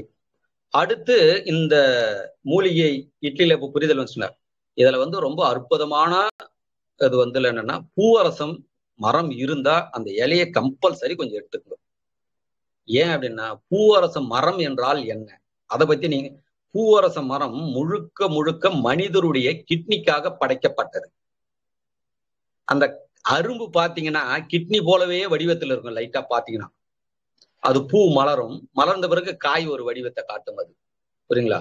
இப்போ பூவரச மரத்தை ஏன் ஐயா சொல்றீங்க? அதுக்கு ரொம்ப முக்கியத்துவம் கொடுத்து சொல்றீங்களே அப்படின்னா அந்த பூவரசம் மரம் என்றால் என்ன? அந்த மரத்துக்குள்ள என்ன சத்து இருக்கு? அந்த மரத்தில் என்ன மாதிரி நம்ம நமக்கு வந்து ஆச்சரியர்கள் வந்து அதை வந்து வடிவமைச்சு கொடுத்தாங்கன்னா அந்த காலத்துல பூரி கட்டகுது பாத்தீங்களா? அது பூவரசம் மரத்தில் தான் செய்வாங்க. கிழகிற கட்டையும் சரி மாவை உருட்டுரும் பாத்தீங்களா? பூவரசம் மரத்தில் தான் செய்வாங்க. இந்த அந்த காலத்தெல்லாம் வந்து கூழ் ஆகத்துக்கு வந்து மத்துன்னு சொல்லுவாங்க. மத்து இப்போ கீரை கடையத்துக்கு பருப்பு கடையத்துக்கு மத்து. புரியுங்களா அழப்பன்னு சொல்லுவாங்க. அது ஒன்று. அடுத்து இந்த கூழ் ஆக்கத்துக்கு வந்து நல்லா பெருசா செஞ்சு வச்சிருப்போம். இதெல்லாம் எல்லாமே பார்த்தோம் அப்படின்னா நம்ம சமைப்பதற்கு நம்ம பயன்படுத்தின கட்டைகள் அனைத்தும் எது என்றால் பூவரச மரம்.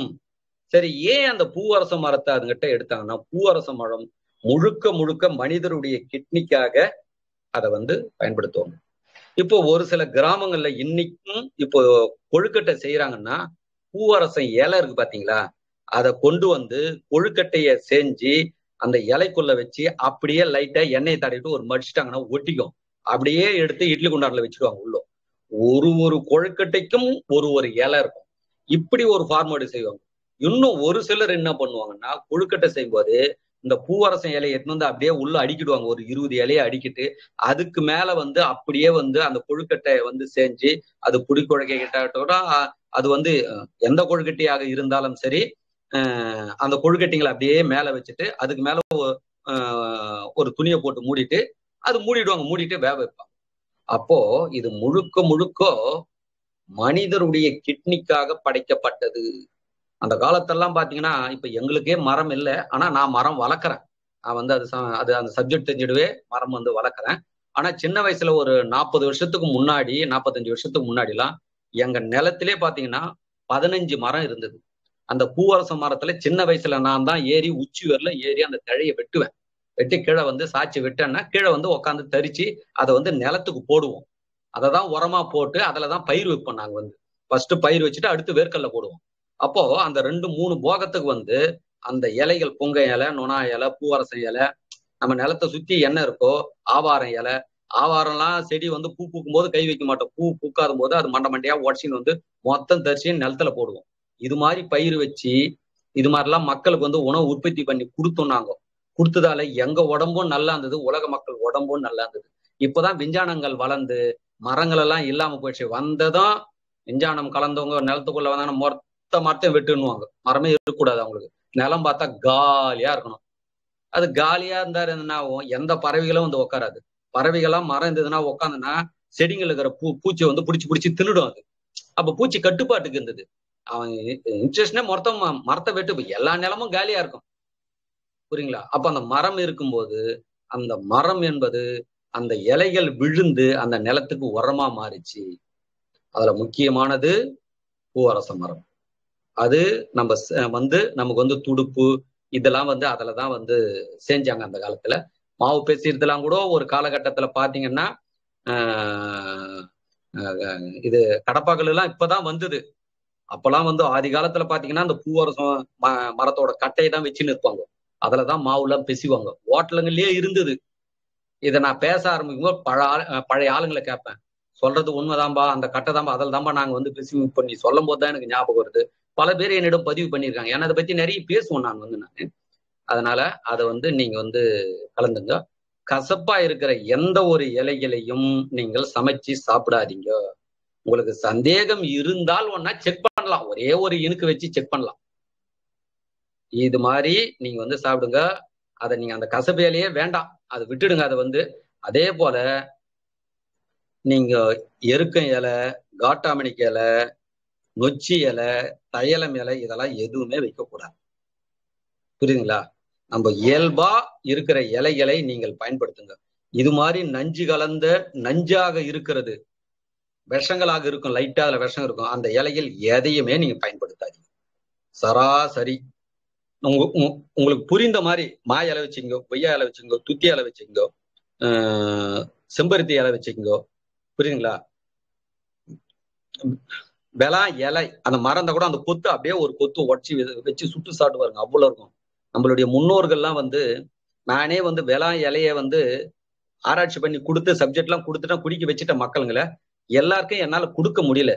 இவ விலா இலை தேநீர்லாம் குடிக்காத வந்து இருக்கிறீங்க. அந்த சுவையெல்லாம் இந்த- இந்த ஒரு பிறவில நீங்கள் அதெல்லாம் அனுபவிச்சிடணும். என்னை பொறுத்த அளவுக்கு என்னன்னா அதெல்லாம் நீங்க அனுபவிச்சிடணும். வெறும் வாழ்நாள் முழுதும் வந்து இந்த டீ காப்பியே குடிச்சு அதே அனுபவிக்க கூடாது இப்ப நான்லாம் வந்து பல விதமான ஜூஸ்கள். தாம்பல பானகம் அடுத்து பேச போறேன் அடுத்த நிகழ்ச்சியில. அற்புதமா இருக்கும் தாம்பல பானகம். தாம்பல பானகம்னு சிம்பிளா சொல்லி கொடுக்குறேன். ஸ்டார் ஹோட்டல்ல அது அதுக்கு என்ன பேர் தெரியுங்களா? வெல்கம் ட்ரிங்க்ஸ் பெரிய பெரிய கல்யாணத்துல என்ன புக் பண்ணுவாங்க. ஐநூறு பேருக்கு ஆயிரம் பேருக்கு ரெண்டாயிரம் பேருக்கு அஞ்சாயிரம் பேருக்கு பத்தாயிரம் பேருக்குலாம் போடுவேன். என்ன கூட சுத்தி அஞ்சு பேர் வேலை செய்வாங்க. பெரிய நிகழ்ச்சிகள். இந்த மாநாடுகள் நடக்குது பாத்தீங்களா? மாநாடுலாம் நடக்கும். அந்த நிகழ்ச்சிக்கெல்லாம் கூப்பிடுவாங்க. பெரிய பெரிய இப்போ மந்திரிங்க பெரிய பெரிய ஆளுங்க இருக்காங்க பாருங்க. அவங்களுக்கெல்லாம் வந்து மூலிகை குடிநீர் அடுத்து மூலிகை குடிநீர் பேச போறேன். தண்ணி என்றால் என்ன? தண்ணிக்குள்ள என்ன இருக்கு. அடுத்த தலைப்பு. புரியுங்களா இது மாதிரி அந்தந்த சத்துக்களை இந்த உடலுக்கு கொடுத்து நீங்க வந்து வாழ வைக்கணும். அடுத்து மூலிகை தோசை. இந்த இதுக்குள்ள நீங்க வந்து கொஞ்சம் பயணிக்கணும். புரியுதுங்களா? மூலிகை தோசை என்னன்னா என் வீட்டுல பாத்தீங்கன்னா இட்லியா இருந்தாலும் தோசையா இருந்தாலும் கலரா தான் இருக்கும். முடக்கத்தான். இதெல்லாம் வந்து வாய்ப்பு கிடைக்கும் போதெல்லாம் நம்ம வந்து பயன்படுத்தணும். முடக்கத்தானை கொண்டு வந்து எப்படி ஒரு மனிதன் செய்யறான்னா பொருளாதார வளர்ச்சி அடைந்ததால் ஒரு சிலதெல்லாம் சீப்பா நினைச்சிடுறாங்க. ஆனா அந்த சீப்பா இருக்கிறது தான் பவர்ஃபுல் இப்போ முடக்கத்தான் எடுத்துன்னு வருவேன். அந்த இலைகளை மட்டும் கிள்ளி அதை வந்து ஒரு பல விதமா செய்யலாம். கார தோசை செய்யலாம். இன்னொன்னு அதை அந்த இலைய தண்ணியில வந்து அழைச்சிட்டு அது மிக்சியில போட்டு அடைச்சிட்டு இப்ப தோசை மாவுதுன்னா தோசை மாவுல எடுத்து அந்த சாறை கொஞ்சோண்டு ஊத்தி நம்ம வந்து அதை வந்து மாவு தோசை மாவுல கலந்துட்டு அப்படியே தோசை ஊத்தி சாப்பிடலாம். இட்லியும் செஞ்சு சாப்பிடலாம். பச்சையா இருக்கும் இட்லி. கொஞ்சம் உடல்ல இருக்கிற கெட்ட வாயுகளை வெளியேற்றும். இன்னும் பாடத்துல இப்ப மேலோட்டமா நடத்துறேன். இதுக்குள்ள நீங்க பயணிச்சோன்னா ரொம்ப டீப்பா நடத்துவோம் உள்ளோ. குளிர்ச்சி இருக்கும் குளிர்ச்சிக்குள் வெப்பம் இருக்கும். வெப்பம் இருக்கும் வெப்பத்துக்குள் குளிர்ச்சி இருக்கும். அது கடந்து உள்ள போனவங்களால மட்டும்தான் புரிஞ்சுக்க முடியும். இந்த ஒரு பாயிண்ட் மட்டும் நீங்கள் பிடித்து விட்டால் வாழ்நாள்ல உங்களுக்கு மருத்துவம் கிடையாது. மருத்துவத்துக்கு போகவே மாட்டீங்க. என்ன பண்ணாலும் போக மாட்டீங்க. ஆனா இது புரியாதவர்களும் உடலில் நோய் பெருகினால் உடல் பலவீனமானால் பயம் வந்துடும் அது கடந்து நடத்துறேன். எவ்வளவு பேர் பயணிக்க முடியுதுன்னு பாருங்க. இப்ப முடியலனாலும் சரி ஒரு முயற்சி எடுத்து அதுல வந்து வெற்றி பெறுங்க. ஆரோக்கியமா வாழ்வீங்க. அதுக்காக சொல்லி அப்போ மூலிகை தோசைகள் இட்லிகள் இப்படி செய்ய ஆரம்பிச்சு.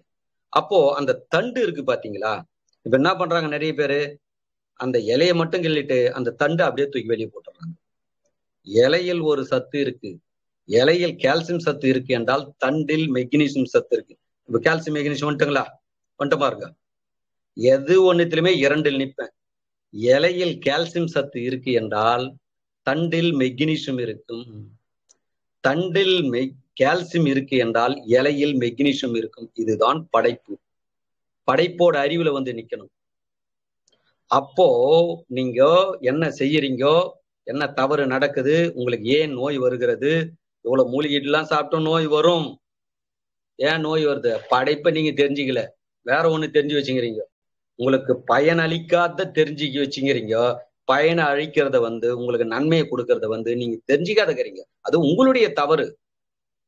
நீங்க என்ன நினைச்சிட்டீங்க? சாமி கும்பிட்டா நல்லா வாழலாம்னு மொத்த பேர் சாமி கும்பிட்டு நோய் இருக்கிறீங்க நான் சாமியே கும்பிடல. இருக்கிற சத்து குத்து சூப்பரா வாழ்ந்துங்கிறேன். என் மாணவர்களும் அற்புதமா வாழ்ந்துங்கிறாங்க. ஏன்? புரிஞ்சுக்கினாங்க அவங்க. நீங்களும் அது மாதிரி புரிஞ்சுக்குங்க. புரியுங்களா? அப்ப அந்த தண்டை எடுத்து கொடிய அருவமனில் அரிஞ்சிட்டு அதை வந்து கொதிக்க வச்சு அதுல உப்பு போட்டா சூப்பு இனிப்பு போட்டா டீ. புரியுதுங்களா? ஒன்னுத்துல வந்து உப்பு போட்டா சூப்பா மாறும். அதுலயே உப்பு இது இனிப்பு போட்டோம்னா டீயா மாறும். இது என்ன அப்படின்னா இப்போ இலையில் உள்ள சத்தை கொடுத்தீங்கல்ல அடுத்து அந்த தண்டில் உள்ள சத்தையும் கொடுக்கணும்ல. இப்போ ஒரு எந்த ஒ- ஒரு மாடு கிட்ட எடுத்து போய் முருங்கைக்கீரை கொடுத்து பாருங்க அது வெறும் இலையை மட்டும் தின்னுட்டு காம்பை விட்டுட்டா முருங்கை இலையில கால்சியம் சத்து இருக்கு வச்சுக்கோங்க அதனோட தண்டு இருக்குல்ல அந்த தண்டுல வந்து மெக்னீஷியம் இருக்கு. அப்போ அது கால்சியமும் சாப்பிடுது மெக்னீஷியமும் சாப்பிடுது. ஆனா நீங்க என்ன பண்ணீங்க? முருங்கைக்கீரையை உருவிட்டு கீரையை மட்டும் சமைச்சு சாப்பிட்டு தண்டு தூக்கி மாட்டுக்கு போட்டீங்கல்ல? அப்போ கால்சியம்ன்ற ஒரு சத்தை கொடுத்துட்டு மெக்னீஷியம்ன்ற ஒரு சத்து ஏமாத்திட்டீங்களா உங்க உடம்புக்கு? எப்படிங்க நீங்க ஆரோக்கியமா வாழ முடியும்? இதுதான் நீங்க கூர்ந்து சிந்திக்கணும். இப்போ இதுக்கு மேல இது மாதிரி செய்யுங்க. அப்போ ஒரு தோசையல் இதுக்குள்ள நீங்க கடந்து போங்க. ஒரு கேரட் இருக்கா? கேரட் எடுத்து கொஞ்சம் அரிஞ்சு அதை சாறு எடுத்து வெறும் சாறை புழிஞ்சிடுங்க அப்படியே. புழிஞ்சிட்டு அதை தோசை மாவுல ஊத்துங்க இட்லி மாவுல ஊத்தி. பசங்க கிட்ட சொல்லுங்க அது மாதிரி. நாளைக்கு வந்து மஞ்சா கலர் தோசை கொடுப்பேன்னா பசங்க ரொம்ப ஒரு ஆவலா இருக்கும். ப்ளூ கலர் கொடுப்பேன். பச்சை கலர் தோசை கொடுப்பேன். இப்படி சொல்லுங்க பசங்க கிட்ட முதல்ல பேசுங்க. கலர் கலரா இட்லி சாப்பிடலாம். கலர் கலரா தோசை சாப்பிடலாம். புரியுங்களா இப்படி எல்லாம் நீங்க வந்து பேசுங்க. அப்போ உங்க வீட்டுல உங்களை சுத்தி என்ன மாதிரி உணவில் கலக்க முடியற மாதிரி கீரைகள் இருக்கோ அந்த கீரைகள் எல்லாமே நீங்க வந்து பயன்படுத்துங்க. புரியுதுங்களா? இப்ப தண்டு நீங்க சூப்பு வச்சு சாப்பிடுறீங்க அப்படின்னா அந்த கீரை இருந்ததுன்னா கீரையை மிக்சியில போட்டு அரைச்சி எசன்ஸா எடுத்து இட்லியில கலந்துருங்க தோசை மாவுல மா இட்லி மாவுல கலங்க. புரியுதுங்களா? ஒண்ணு தோசையா ஊத்துங்க இல்ல இட்லியா ஊத்துங்க. எப்படியாவது ஒண்ணு. ரெண்டு சத்தும் அது ஒரு தலைப்பு இருக்கு. கால்சியம்னா மெக்னீஷியம்னா தாவரத்துல எப்படி இருக்கு அதை முதல் முதல்ல எப்படி ஆராய்ச்சி பண்ணு. அது ஒரு தலைப்பா நடத்துறேன். மற்ற ஜீவராசிகளுக்கு நோய் வராமல் இருப்பதற்கு காரணம் என்ன? நமக்கு நோய் வருவதற்கு காரணம் என்ன? நம்ம எங்க தப்பு பண்றோம்? ஒன்று மட்டும் உங்களுக்கு தெளிவா சொல்லிடுறேங்க. மூலம் என்பதை நீங்கள் அறியாமல் பாம்பு இருக்குன்னா பாம்போட தலையை பிடித்தால் நீங்கள் நலமோடு வாழலாம். ஆனா நான் வாளை பிடித்து கொண்டு நலமோடு வாழும் என்னைக்கு இருந்தாலும் அது திரும்பி அடிக்கும். புரியுதுங்களா? நான் தலையை பிடிச்சிங்கிறவன். தலையை கண்டி பிடிச்சி பாருங்க மருத்துவ நிகழ்ச்சி நீங்க அட்டன் பண்ண மாட்டீங்க. மருத்துவமே பேச மாட்டீங்க. உங்க உடம்புல சுரக்கிற ஹார்மோன் சிஸ்டமே வேற மாறிடும். இப்ப என் உடம்புல மாறவே தான் நான் பேசுறேன். மாறலைன்னா நானும் பயப்படுவேன். நான் எதுக்கும் பயப்படல ஏன்? மூலத்தை பிடிச்சிக்கினேன். இதை நீங்க அறிந்து உங்களுடைய பிள்ளைகளுக்கு இதை நீங்க சொல்லி கொடுக்கணும். புரியுதுங்களா? உங்களுடைய பேர பிள்ளைகளுக்கு சொல்லி கொடுக்கணும். உங்களுடைய கொள்ளு பேரனுக்கு சொல்லி கொடுக்கணும். புரியுதுங்களா? நீங்க சாமி கும்பிடுதா சொல்லி கொடுங்க அதுக்குள்ள நான் வரல. நீங்க சாமி கும்பிடுங்கோ. அது வேணான்னு சொல்ல. நல்லா பசி எடுக்குதா? போய் சாமி கும்பிட்டா நான் வந்து சாமி கும்பிட்டேன் அப்படின்னா பசி அடங்கிடுமாண்ணா? அப்ப பசி என்பது படைப்பு என்றால் படைப்பு நீங்க கொடுத்தாகணும். அதை படைப்புன்னு சொல்லலாம் கடவுள்னு சொல்லலாம் ஆண்டவர்னு சொல்லலாம் தெய்வம்னு சொல்லலாம் இறைவன் சொல்லலாம். எதை வேணாலும் சொல்லிக்கோ உள்ள கடவுள் இருக்காரு கடவுள் தான் இந்த உடலை படைத்தார் அப்படின்னா உள்ள கடவுள் இருக்காரு. அப்ப கடவுளை கொடுங்க. அந்த கடவுள் தான் கத்திரிக்காய் தக்காளி முருங்காய் அரிசி பருப்பு சாம்பார் ரசம் மோர். அப்போ பசி உணவு படைப்பு என்ற ஒரு ஆசிரமம் அங்க என்ன நடக்கும் என்றால் பசியும் உணவுமே படைப்பு என்று இதை தான் சொல்லி கொடுக்கும். கடவுளை உடலுக்குள் கூடு. வணங்குவது உங்க உங்களுடைய விருப்பம். புரியுதுங்களா? இது உடலுக்குள்ள கொடுத்து உங்களுடைய உடலை நலமோடு வாழ வைங்கள் ஆரோக்கியமாக வாழ வைங்கள். இப்ப இது மாதிரி தோசைகளோ இட்லியோ உங்களுக்கு என்ன புரிஞ்சுது? நீங்க லைட்டா நான் தூண்டி விடுறேன். அவ்வளவுதான் என் வேலை. சாவியை போட்டு ஸ்டார்ட் பண்ணி விட்டேன். நீங்க நிதானமா போறதோ வேகமா போறதோ உங்களுக்கு ஏத்த மாதிரி உங்களுடைய நாலேஜுக்கு ஏத்த மாதிரி உங்களுக்கு என்ன கிடைக்குதோ அதற்கு ஏற்றவாறு போங்க. எடுத்ததும் வேகமா போவாதீங்க. நானே நிதானமா ஆறு மாசம் ஆச்சு. இதை ஆராய்ச்சி பண்ணி ஈழர் பாஸ்கர் ஏட்ட கொடுக்கறதுக்கு ஆறு மாசம் ஆச்சு. அதுக்கு மேலதான் அதை வெளியிட்டாரு. அது மேட்டு இட்லின்னு போடுங்க நீங்க. வந்துடும் அது வந்து என்னை பத்தி பேசியிருப்பாரு. அதுல என்ன மாதிரிலாம் வந்து பேசுகிறாருன்னு பாத்துக்கணும் நீங்க வந்து இது மாதிரி பயன்படுத்தி சாப்பிடுங்க. அடுத்த தலைப்பு மூலிகை குடிநீர். இருக்கு. அடுத்து வந்து அடுத்த பாடத்தில் வந்து என்ன ஒண்ணு? இந்த கால்சியம் மெக்னீசியம் எப்படி கண்டுபிடித்தேன்? அது ஒன்று இருக்கு. அடுத்து சித்தர் என்றால் என்ன? பசித்தர் என்றால் என்ன? அதையும் புரிஞ்சு இப்ப நான் பேசுறது பாருங்க என் பாடி டோட்டல் அந்தத்துல பறக்கிற மாதிரி இருக்குது. எப்படி? லைட் வெயிட் ஆயிட்டேன். ஏன்? நான் உண்மையை பேசினேன் உண்மையோட கலந்து விட்டேன். உங்களுடைய பாடி லைட் வெயிட் ஆகி அப்படியே அந்தத்துல பறக்கிற மாதிரி இல்லை என்றால் நீங்கள் உண்மையில் கலக்கவில்லை. உண்மை இன்னும் உங்களுக்கு புரியவில்லை. அதுக்காக வருத்தப்பட வேண்டாம். நானும் இதில் கலப்பேன். நானும் இதில் வெற்றி அடைவேன். நானும் இந்த முழுமையில் கலந்து என் உடலை அந்த முழுமையில் கலந்து அந்த பேரின்பத்தை நான் பாருங்க எனக்கு பேரின்பமாக இருக்குது. பூமியே தெரியல எனக்கு. எப்படி? கண்ணை மூடியும் தான் பேசிங்கிறேன். பூமியே தெரியல எனக்கு. ஏன்? நான் பேசிக்கொண்டே என் உடல் முழுவதும் அந்த ஹார்மோனை சுரந்து பூமி எங்க இருக்குதுன்னு எனக்கு தெரியல இப்போ. ஆனா உங்ககிட்ட பேசிங்கிறேன். அந்தரத்தில் பறக்கிற மாதிரி இருக்குது. என்னாச்சு என் பாடி? ஃபுல் லைட் வெயிட் ஆயிடுச்சு. அந்த தந்தை என்ற சத்து இப்போ என் உடலுக்குள் இயங்கிக் கொண்டு இருக்கிறது தாயினுடைய சத்து இருக்கிறவர்களும் உடல் வெயிட்டாக இருக்கும். தந்தையோட சத்து தாய் சத்து தந்தை சத்து இங்க கடந்து இப்போ உள்ள போனதுக்குள்ள இந்த ரெண்டு சத்தை நீங்க புரிஞ்சுக்கணும். தாய் சத்தை சாப்பிடுகின்றவர்களும் உங்களுடைய உடல் வெயிட்டாக இருக்கும். நிறைய நோய்கள் வரும். தாய் சத்துல தந்தை சத்தில் வந்து நோய்கள் குணமடையும். தந்தை சத்து தான் ஆதி மூலம். அதுதான் லைட் வெயிட் ஆக்கும் அதிகமான உணவு தந்தையோட சத்தை தான் உள்வாங்கி இந்த உடல் இயங்கும் இந்த உடல் வாழும். லாஸ்ட் அந்த தந்தையோட சத்து உடலை விட்டு வெளியேறும் போதுதான் அந்த இறப்பு நிலை வரும். புரியுதுங்களா? தாயினுடைய சத்து வந்து லாஸ்ட் வரல இருக்காது. தாயினுடைய சத்து முன்னாடியே சொல்லியிருக்கேன். தாயினுடைய சத்து அறுசுவை தந்தையினுடைய சத்து பஞ்சபூதம். இப்ப எனக்கு அப்படியே பேரின்பமாகுது. பேசலாமா? அப்படியே சைலண்டா அதுக்குள்ள கடந்து போயிடலாமான்னு யோசிக்கிறேன். இருந்தாலும் இப்ப நிகழ்ச்சி நடத்துவதற்காக அந்த சிஸ்டத்துல இருந்து நான் நார்மல் சிஸ்டத்துக்கு வரேன். நார்மலுக்கு வந்தாதான் இப்போ உங்ககிட்ட பேச முடியும் என்னால. என் உடம்போட எல்லாமே வந்து வேற மாதிரி மாற்றத்தை உருவாக்குது. பேசவே உடலை என்னை வந்து பேச்சு பாருங்க பேச்சு அரெஸ்ட் ஆகுது எனக்கு வந்து. அதனால வந்து இதை உங்களுடைய உடலுக்கு கொடுத்து உங்களுடைய உடலை நலமோடு வாழ வைங்க ஒரு முறை பூமியில் பிறக்கிறீர்கள். உங்களுடைய உடலை நீங்கள் நலமோடு வாழ வைத்து உங்க குழந்தைகளையும் பிள்ளைகளையும் பேர பேத்திகளையும் அப்படி கொஞ்சும் போது அந்த குழந்தையோட முகத்தை பார்த்து அந்த நேரத்திலேயாவது உண்மையை சொல்லிக் கொடுங்கள். மறைச்சிடாதீங்க. புரியுதுங்களா? இன்னும் ஒரு சில பதிவுகள்ல நான் பேசுறேன். என் பேரன் பேத்திக்கிட்ட நான் எப்படி வாழ்ந்தேன்? என் பேரன் பேத்திக்கு நான் என்ன வாக்குறுதி கொடுத்தாலும் அடுத்த தலைப்பில் வரும்.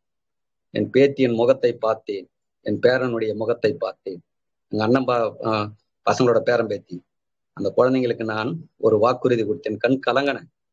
இந்த பூமியில் நீ நீண்ட நாள் வாழ்வதற்காக உன்னுடைய தாத்தா பாரம்பரிய விதையை மீட்டெடுத்து உங்க கையில் கொடுத்துட்டு போவேன். நீ நல்ல உணவை சாப்பிட்டு இந்த பூமியில் நீ நலமோடு வாழ்வாயின் கண் கலங்கன. கண்ணை தொடச்சின்னு வந்துட்டு தொலைவா அப்படியே. துக்கம் வந்துருச்சு புரியுதுங்களா? உங்கள் குழந்தையெல்லாம் பார்த்து நான் அது போல் சிந்திப்பேன். உங்களுடைய குழந்தையை பார்த்து நான் கண் கலங்கி நான் சிந்தித்து அந்த குழந்தைங்களுக்கு உண்மையை நான் சொல்லிக் கொடுக்கிறேன். ஏன் நீங்கள் சொல்லிக் கொடுக்க மாட்டேன்றீர்கள்?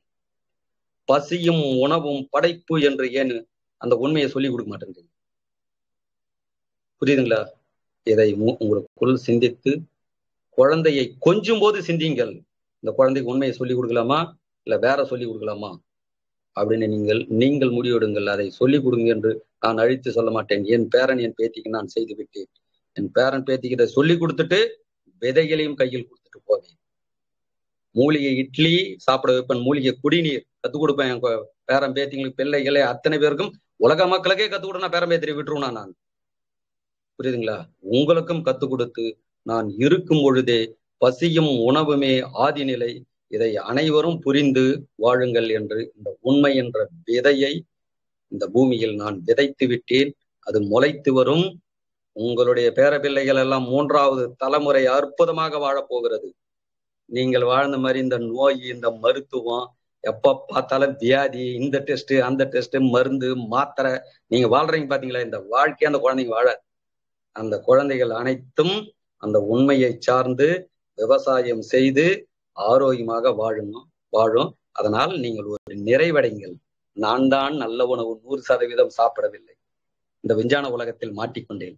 என்னுடைய பேரப்பிள்ளைகள் எல்லாம் சாப்பிடுகிறது என்றால் நான் மன நிறைவு அடைகிறேன் மகிழ்ச்சி அடைகிறேன் உள்ளுக்குள்ள மகிழ்ச்சி அடைகிறேன். கண்டிப்பா சொல்றேன் அந்த குழந்தைகள் நல்லா வாழும். கவலையே படாதீங்க வருத்தப்படாதீங்க. புரியுதா? அந்த குழந்தையை வானமும் பூமியும் வாழ வைத்தே தீரும். புரியுங்களா? நன்றி மகிழ்ச்சி. நிகழ்ச்சியை நிறைவு செய்கிறேன். பசித்தர் மூலிகை மகேந்திரன். நன்றி மகிழ்ச்சி. வாழ்க உண்மை பசித்தர் மூலிகை மகேந்திரன் ஐயா. அப்படிதான் சொல்லணும். வாழ்க வளமுடன் ஐயா. ரொம்ப சூப்பரா இருந்தது. நீங்க லைட் வெயிட் ஆனீங்களோ இல்லையோ எங்களை எல்லாத்தையும் லைட் வெயிட் ஆக்கிட்டீங்கன்னு நினைக்கிறேன். லாஸ்ட் உடம்பு முடியல. என்னால வேற ஸ்டேஜ் போயிடுச்சு உடம்பு.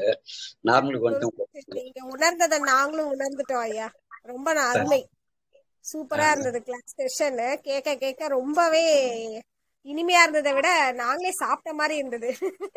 நீங்க. சொல்ற டேஸ்ட் பண்ணியாச்சு.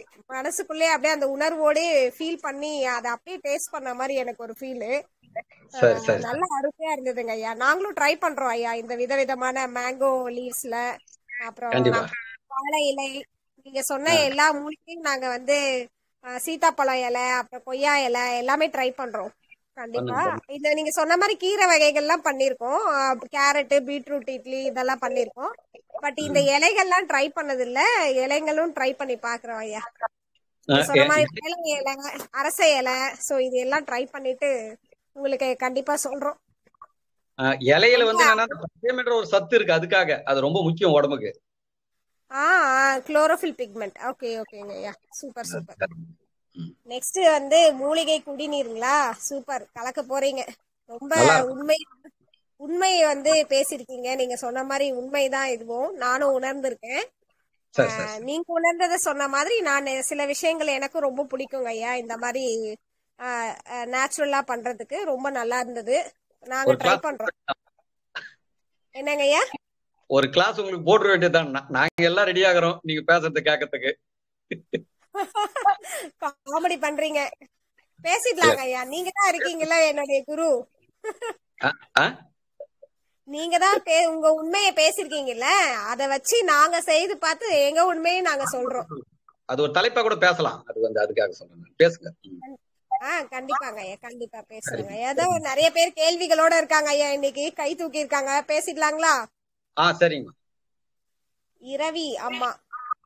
இரவி அப்படின்றவங்க நீங்க பேசலாமா? அன்மியூட் பண்ணிருக்கேன். கீதா இரவி அப்படின்றீங்க இருக்கீங்களே? ஆ, hand raise Geetha Ravi. Sorry Ravi. Okay sorry ரசித்தர் ஐயா வணக்கம் வணக்கம். வாழ்க வளமுடன். நன்றி மகிழ்ச்சிங்கம்மா. பிரபஞ்சம் சரியான நேரத்துக்கு கொண்டு வந்துருது ஆர் என்னுடைய ஆரோக்கியத்தை உங்ககிட்ட ஒப்பு கொடுத்துடலாமான்னு பாக்குறேன். நீங்க அதை பத்தி பேசக்கூடாது. நீங்க அடுத்ததை பத்தி அதனால ஆரோக்கியத்தை ஒப்பு கொடுக்க போறேன். கண்டிப்பா. ரொம்ப அருமையா இருந்துச்சுங்க. நன்றி நன்றி. இப்ப நாள் பேசுறதுக்கு இன்னைக்கு ரொம்ப வித்தியாசமா. மூலிகை இட்லி அந்த விதமான வகைகள்ல இருந்து வரக்கூடிய ஆவி அது கண்டிப்பா அதுல அப்சர்வ் ஆகும் தான். நீங்க சொன்னது சரிதான். வேப்பிலைய வச்சு டெஸ்ட் பண்ணது ரொம்ப அருமை. நன்றிங்க. நாங்களும் முடிஞ்ச வரைக்கும் ஃபாலோ பண்றோம். எங்களுடைய எல்லாருடைய ஆரோக்கியம் என்னுடைய வாழ்த்துக்கள். நன்றிங்க. நன்றி நன்றி. மகிழ்ச்சிங்கம்மா சாரிங்கம்மா கீதா ரவி அம்மா மிக்க நன்றிகள் அம்மா. வாழ்க வளமுடன். ரகு கண்ணகி அம்மா பேசுங்கம்மா. ஐயா வணக்கம் ஐயா. மகேந்திரன் ஐயா வணக்கம் வணக்கம். ஆ வணக்கம்மா. வார்த்தைகளே இல்ல. என்ன சொல்றதுன்னே தெரியல. தேடிட்டு இருக்கிறேன் நானும் பிரபஞ்சத்துல போய். அப்படியா? என்ன? சொல்லி உங்களை வாழ்த்துறதுன்னு எனக்கு தெரியல. அப்படியா? பெரியோருக்கா சிறியோர் என்னத்த வாழ்த்துறது சொல்லுங்க. பெரியோர் சொல்றதெல்லாம் அதாவது அப்படியே புடிச்சு வச்சுக்கணும் தங்கம் புதையல் மாதிரி. சரி சரி சரி சரி நாங்களும் நாங்களும் செய்யறோம் செய்யறோம் நீங்க மூலிகை மகேந்திரன் ஐயாவோட கிளாஸ்னது ஒரே சந்தோஷம். நான் இட்லி என்னென்னமோ சொல்லுவீங்கன்னு நினைச்சேன். கடைசியில அப்பா நம்ம வீட்டுக்கு பக்கத்துல இருக்கிறதே தான் சொல்லி இருக்கிறீங்க கண்டிப்பா கண்டிப்பா கண்டிப்பா. ம் கண்டிப்பா. நான் இனிமேட்டு நாங்க மூலிகை இட்லி தான். நம்ம மாசத்துல ரெண்டு நாள் தான் சாப்பிடுவோம் நாங்க. அந்த. ரெண்டு நாளும் அமாவாசை கிருத்திகை அன்னைக்கு உங்க இட்லி தான். இந்த கேள்வி நீங்க கேட்டதால ஒரு ரகசியம் ஒண்ணு சொல்லிடுறேமா இப்ப நான் பாருங்க நான் சொல்லிக்கிறது எல்லாமே உங்க வீட்டுல அருகில இருக்கிறது. ஆமா. ஆனா என்னுடைய நண்பர் ஒருத்தர். ஒரு மூலிகை பத்தி சொல்லிட்டாரு. அந்த. மூலிகைய ஒருத்தர் பத்து வருஷமா தேடிங்கிறாராம் இன்னும் கிடைக்கல. பத்து வருஷத்துல நூறு சதவீதம் நம்பி எவ்வளவு பணம் செலவு பண்ணிக்கிறாரு தெரியுமா? என்ன இருங்க இத முடிச்சிடறேன் நானு. லாஸ்டா பல இடத்துல கண்டுபிடிச்சு பத்து வருஷமா தேடியும் இன்னும் கிடைக்கல. அப்புறம் லாஸ்டா என் ஃப்ரெண்டு கிட்ட கேட்டேன் எங்க இருக்குது அந்த மூலிகை? அப்படின்னா அது இமயமலையில இருக்குது அந்த மூலிகை சொல்லி விட்டேன். பக்கத்துல இருக்கிற மூலிகை சொல்லு பக்கத்துல இருக்கிற மூலிகை சொன்னா என்ன சீப்பா நினைச்சிடுவாங்க. கிடைக்காத மூலிகை சொல்லிட்டாதான் பத்து வருஷமா என்ன ஞாபகம் என் குருநாதர் ஒரு மூலிகை சொன்னாருங்க. அது கிடைக்கவே இல்லைங்க. பத்து வருஷமா தேடிங்கன்னு என்னை பத்தி பேசினே இருக்கிறாரு. பாருங்க எப்படி இருக்கிறாங்க பாருங்க இந்த உலகத்துல. ஒரு கிடைக்காத மூலிகை போய் சொல்லி ஒரு பத்து வருஷமா ஒரு மனுஷனை சுத்த விடலாமா? தப்பு இல்ல அது. இது. மாதிரிலாம் மனிதர்கள் இருக்காங்க. அதனாலதான் நான் என்ன சொல்லி கொடுத்தேன் உங்க வீட்டு பக்கத்திலேயே இருக்கிறத சொல்லி கொடுத்துக்கிறேன் நான். கண்டிப்பா உங்களால செய்ய முடியும். இது மாதிரி செயலை நான் செய்யறதில்ல. இப்ப அவர் செஞ்ச மாதிரி செய்யறதில்ல. உங்க அருகில் உள்ள நீங்க வந்து பயன்படுத்துங்க. அதுதான் நீங்க வேணுங்க எங்களுக்கு.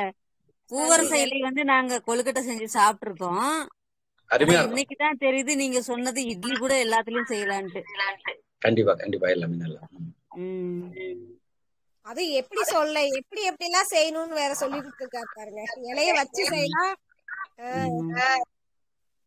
அது மேட் இட்லின்னு போட்டு பாருங்க. பாஸ்கர் எப்படி பேசிக்கிறாருன்னு கேளுங்க. என் வீட்டுக்குள்ள என்ன மாதிரி சண்டைகள் இருந்தது? செம்ம கேக்குறோம், கலாட்டா கேக்குறோம். ஏற்கனவே உங்களை பத்தி சொல்லியிருக்கிறாருயா ஈலர் ஐயா. அதான் அதான் அதான், அதான் ஆ, பாஸ்கர் ஐயா சொல்லியிருக்காங்க உங்களை பத்தி. அந்த நீங்க விவசாயம் பண்றதெல்லாம் சொல்லியிருக்கிறாரே. கண்டிப்பா கண்டிப்பா அதான் அதான். கண்டிப்பா கேக்குறோங்க ஐயா. வேற யாரும் கை தூக்கிட்டாங்களே இருங்க. நன்றிங்கய்யா நன்றிங்க ஆ, ஆஹ் அம்மா உங்களுக்கு முடிஞ்சிருச்சா? கண்ணகி அம்மா? வேற யாரும் பேசுறதுக்கு ரெடியா இருக்கீங்க? ஐயா கூட? ஹேண்ட் ரைஸ் பண்ணுங்க. பவித்ராமா பேசுங்கம்மா. பவித்ராமா இருங்க உஷாமா பேசுங்கம்மா. உஷாமா இருக்கீங்களா?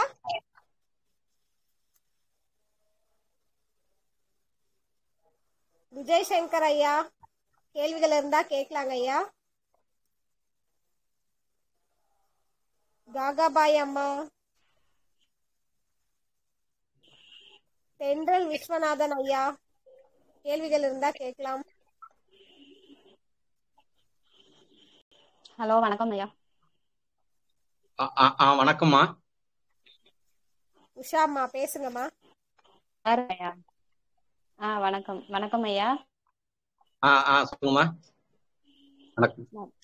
ஆ நல்லா இருந்ததுங்க ஐயா நீங்க சொன்னது. இன்னைக்கு ஆக்சுவலா நான் பசித்தர் அப்படின்னா என்ன மீனிங் அப்படின்னு கேட்கலாம்னு நினைச்சிட்டு இருந்தேன். மீட்டிங் முடிச்சிட்டு.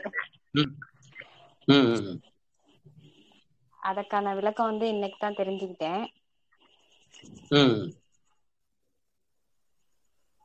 அப்புறம் இந்த நெல் ஜெயராமன் சொன்னீங்க இல்லையா அவங்க எங்க எங்க ஊர் தாங்க ஐயா? எங்க வீட்டுக்கு பக்கம் தான் அப்படியா? சரி சரி சரி சரி சரி. ஆமாங்க திருத்துறைப்பூண்டி அவங்க ஆதிரங்கம். ஐயாவோட நிகழ்ச்சி மூலிகை தண்ணி கொடுப்பதற்காக கூப்பிட்டாரு. என்னுடைய உடம்பு சரியில்லாம பண்ணிட்டேன் இல்ல அப்படின்னா அந்த நிகழ்ச்சியில வந்து மூலிகை தண்ணி கொடுத்துருப்பேன் நான் வந்து மண்டபத்துல. அந்த வருஷம் தான் இல்லாம தான் ஐயா வந்து அந்த முழுமையை அடைந்துட்டாரு. ஒரு ஐயா கூட நெருங்கி பழகி அவருடைய நிகழ்ச்சியில அவர் வர நிகழ்ச்சியில பல நிகழ்ச்சிகள்ல மூலிகை தண்ணி கொடுப்பேன். ஆற்காட்டுல வந்து நாங்க அரிசி திருவிழா செய்வோம். பாரம்பரிய. அதுல வந்து சிறப்பா ஐயா வருவாரு. ஐயா தான் முதல் முதல் துவைக்க வச்சாரு. அதை வந்து ஸ்டார்ட் பண்ணி வச்சவரே. இன்னைக்கு நல்லா போயின்னு இருக்கு அப்போ ஐயா சொன்னாரு கண்டிப்பா நான் வந்து பத்திரிக்கைலாம் கொடுத்த அழைப்பு அமைச்சாரு ஃபோன் பண்ணி கூப்பிட்டாரு. அந்த டைம் எனக்கு உடம்பு சரியில்லாம போயிடுச்சு. அதான் அஹ் அதே மாதிரி இப்ப நீங்க சொன்னதால இப்போ நான் உண்மையை சொல்றேன். நீங்க ஐயா பக்கத்துல இருக்கால உங்க ஊர்ல பதிவு பண்ணுங்க. என்னுடைய பசி உணவு. படைப்பு அவசரமும் அதனுடைய திறப்பு விழால வந்து யாரை யாரை நான் பதிவு. கல்வெட்டு போட்டிருக்கேன் ஆயிரம் வருஷம் ஆனாலும் சரி பத்தாயிரம் வருஷம் ஆனாலும் சரி நாலு பேர் பேர் அதுல இருக்கு நம்மாழ்வார். நெல் ஜெயராமன் ஐயா. சுபாஷ் பாலகர் ம். சூழர் வேளாண்மை ஞானபிரகாஷ் ஐயா இவங்க நாலு பேரையும் பேரை போட்டு திறப்பு விழா பண்ணியிருக்கேன் என்னுடைய ஆசிரமம் திறப்பு விழாவில் வந்து ரெண்டே ரெண்டு பேர் படத்தை தான் வச்சேன் நம்மாழ்வார் படம் நெல் ம். ஜெயராம் ஐயா எங்க அப்பா படத்தை கூட நான் வைக்கல பாருங்களேன் என்னை பெத்தாரு எங்க அப்பா படத்தை கூட வைக்கல ஆனா நெல் ஜெயராமன் ஐயாவை படத்தை ம். வச்சதுக்கான காரணம் என்னன்னா பொது நலம் அவர்கிட்ட. இன்னைக்கு அவரு. நெல்லை மீட்டு எடுத்ததற்கு அவர் ஒரு முழுமை அவரு நம்மாழ்வாரோட. நின்னு கீழே இறங்கவே இன்னைக்கு அவர் பின்னாடி நாங்க பல பேர் நிக்கிறோம் ஆனா நெல் ஜெயராமனையான் அப்படிதானே பேர் வந்தது முதல் மீட்டு எடுத்தவர் அவர் தானே அதனால அவருடைய போட்டோ. தான் என்னுடைய ஆசிரமத்தில் வச்சிருக்கேன் நான். எங்க அப்பா போட்டோ கூட வைக்கல அதனால அந்த நன்றி உணர்வோட வாழ்றோம் நாங்க அவர் மேல இன்னைக்கு சொந்தமும் கிடையாது. பந்தமும் கிடையாது. ஆனா என் பிள்ளையும் என்னுடைய பேர பிள்ளைகளும் கொல்லு பேரனும் பூமியில் உள்ள எல்லா பிள்ளைகளும் பேர பிள்ளைகளும் நலமோடு வாழ வேண்டும் என்று வாழ்ந்து காட்டியவர் நெல் ஜெயராமன் ஐயா. வாழ்ந்துட்டு அந்த விதையை மீட்டு கையில குடுத்துட்டு போயிட்டாரு. என் கையில குத்துட்டாரு நாங்க பொக்கிசம் ஆக்கிட்டோம் இதுக்கு மேல அதை விட மாட்டோம் நாங்க. அதனால மனமார்ந்த நன்றி மகிழ்ச்சிமா பதிவு பண்ணுங்க. ஐயா மூலிகை மகேந்திரன்ற ஒரு ஐயாவுக்கு வந்து கல்வெட்டு போட்டு ஆசிரமம் கட்டியிருக்காரு. நெல். ஜெயராமன் ஐயா நம்மாழ்வாருங்க ஆசிரமம் கட்டிக்கிறாரு சொல்லுங்கம்மா நன்றி மகிழ்ச்சிமா ஆமாங்க ஐயா. இன்னைக்கு கூட மே மாசம் வருஷம் வருஷம் நெல் திருவிழா வைப்பாங்க எங்க ஊர்ல. நல்ல சிறப்பா அவங்க ஐயாவோட ஞாபகமா வைப்பாங்க. உஷாமாவும் விதையெல்லாம் விக்கிறாங்க ஐயா. சேல்ஸ் பண்றாங்க. அப்படியா? சரிங்க சரி மகிழ்ச்சி. சரி சரி. விதைகள் எல்லாமே அவங்க ஹஸ்பண்ட் வந்து சேல் பண்றாங்க எல்லாம். ஆஹா அந்த சரி. ஐயா நாங்களும் ஒரு நாங்களும் சாகுபடி இப்ப பண்ணிட்டு இருக்கோம் ஒரு பேருமா உஷா யார் உஷா. பேரு? உஷாங்க ஐயா என் பேர். அப்படியா? சரி சரி. ஆமாங்க. உங்க வீட்டுக்கார் பேருமா? நாங்களும் நெல் அவங்க பேர் ராமலிங்கம். ராமலிங்கம். சரிம்மா சரி. ம். இங்க நெல் திருவிழா வருஷம் வருஷம் நிறைய பேர் வருவாங்க ஐயா. மே மாசம் இங்க ஒரு மண்டபத்துல வச்சிருப்பாங்க. அதான். எல்லா எல்லா வகை அரிசியுமே இங்க சேல்ஸ் பண்ணுவாங்க. சரி சரி சரிம்மா சரிம்மா. நீங்க சொன்னோன்னே எனக்கு ரொம்ப மகிழ்ச்சி மகிழ்ச்சியா இருந்தது. நம்ம ஊரு அவங்கள பத்தி பேசுறாங்க அப்படின்ட்டு. கண்டிப்பா கண்டிப்பா கண்டிப்பா. நான் உங்க நம்பர் வாங்கி தனியா பேசுறேங்க ஐயா. கொஞ்சம் டவுட் இருக்கு. உங்கள்கிட்ட கேட்கணும் ஆ ஓகேங்க ஐயா. ஐயாட்ட பாலகிருஷ்ண ஐயாட்ட கேளுங்க தருவார். ஆ ஓகேங்க ஐயா. சரிங்க. நன்றிங்க ஐயா அவர்களுக்கு வந்து நன்றி. ரொம்ப ரொம்ப நன்றி. மகிழ்ச்சிங்க ஐயா. நன்றி. ஒரு முக்கிய முக்கியமான சாரி சரி. சரிங்க சரிங்க. ஐயா. கிளம்பிட்டாரு. அம்மா நான் சந்தேகங்கள்லாம் நிறைவு செஞ்சுக்கலாமா? ஐயா இருங்க ஐயா. ரெண்டு பேர் ரைஸ் பண்ணிருக்காங்க. வேலாயுதம் ஐயா கேக்குறீங்க? ஏதாவது கேள்வி இருந்தா கேக்குறீங்களா? பரமேஸ்வரி அம்மா. கேட்டுட்டு இருக்கீங்களே காஜா அம்மாவா அது? ஓகே யாருக்கும் கேள்விகள் இருந்தா பேசலாம். இல்லைன்னா கிளாஸ் என் பண்ணிக்கலாங்களா? ஓகேங்க ஐயா. மிக்க நன்றிகள். ஐயா. இந்த மாதிரி. நிறைய செஷன் வந்து நீங்க எடுத்து நல்ல ஒரு விழிப்புணர்வு பதிவு வந்து எங்களுக்கெல்லாம் கொடுத்துட்டே இருக்கணும். சோ. ஆல்வேஸ் கிளாஸ்க்கு வந்துட்டு நாங்கெல்லாம் வந்து வெயிட்டிங் சோ சரி, சரி. தேங்க்யூ சோ மச் ஐயா. வாழ்க வளமுடன். நீங்களும் உங்கள் அன்பு குடும்பமும் வாழ்க வளமுடன் என்று சொல்லி நிறைவு செய்துக்கலாம். மிக்க நன்றி மகிழ்ச்சி ஐயா. வாழ்க வளமுடன். ஆ நன்றி மகிழ்ச்சிங்க நன்றி நன்றி. அம்மா. ஆ சொல்லுங்கம்மா கண்ணகி அம்மா. உங்க உங்க நம்பர் சொல்லுங்க. என் நம்பரா அம்மா நான் உங்களுக்கு தரேம்மா தனியா தரேன். ஆமா இல்ல இல்ல. இங்க யாரு நம்பரும் ஒரே நிமிஷம் இருங்கம்மா யாரு நம்பரும் இங்க லைவ்ல கொடுக்காதீங்க. இங்க வேற இஷ்யூ ஒண்ணு போயிட்டு இருக்கு இன்னைக்கு கூட சைபர் கிரைம் ஆபீஸ் வரைக்கும் போயிட்டு வந்திருக்கேன்.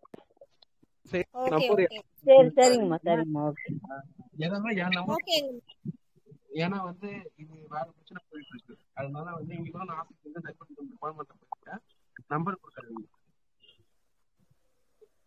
ஓகேங்களா ஓகேங்க ஐயா. நன்றி நன்றிகள் ஐயா. நாங்க தனியா கனெக்ட் எதா இருந்தாலும் வாங்கிக்கலாமாங்க ஐயா. நன்றிகள் ஐயா சரிங்கம்மா நிறைவு செஞ்சுங்கம்மா. அடுத்த நிகழ்ச்சி ஸ்டார்ட் ஆகுது எனக்கு. டைம் ஆயிடுச்சு. நன்றி நன்றிங்க ஐயா வாங்க ஐயா நாங்க ரெக்கார்டிங்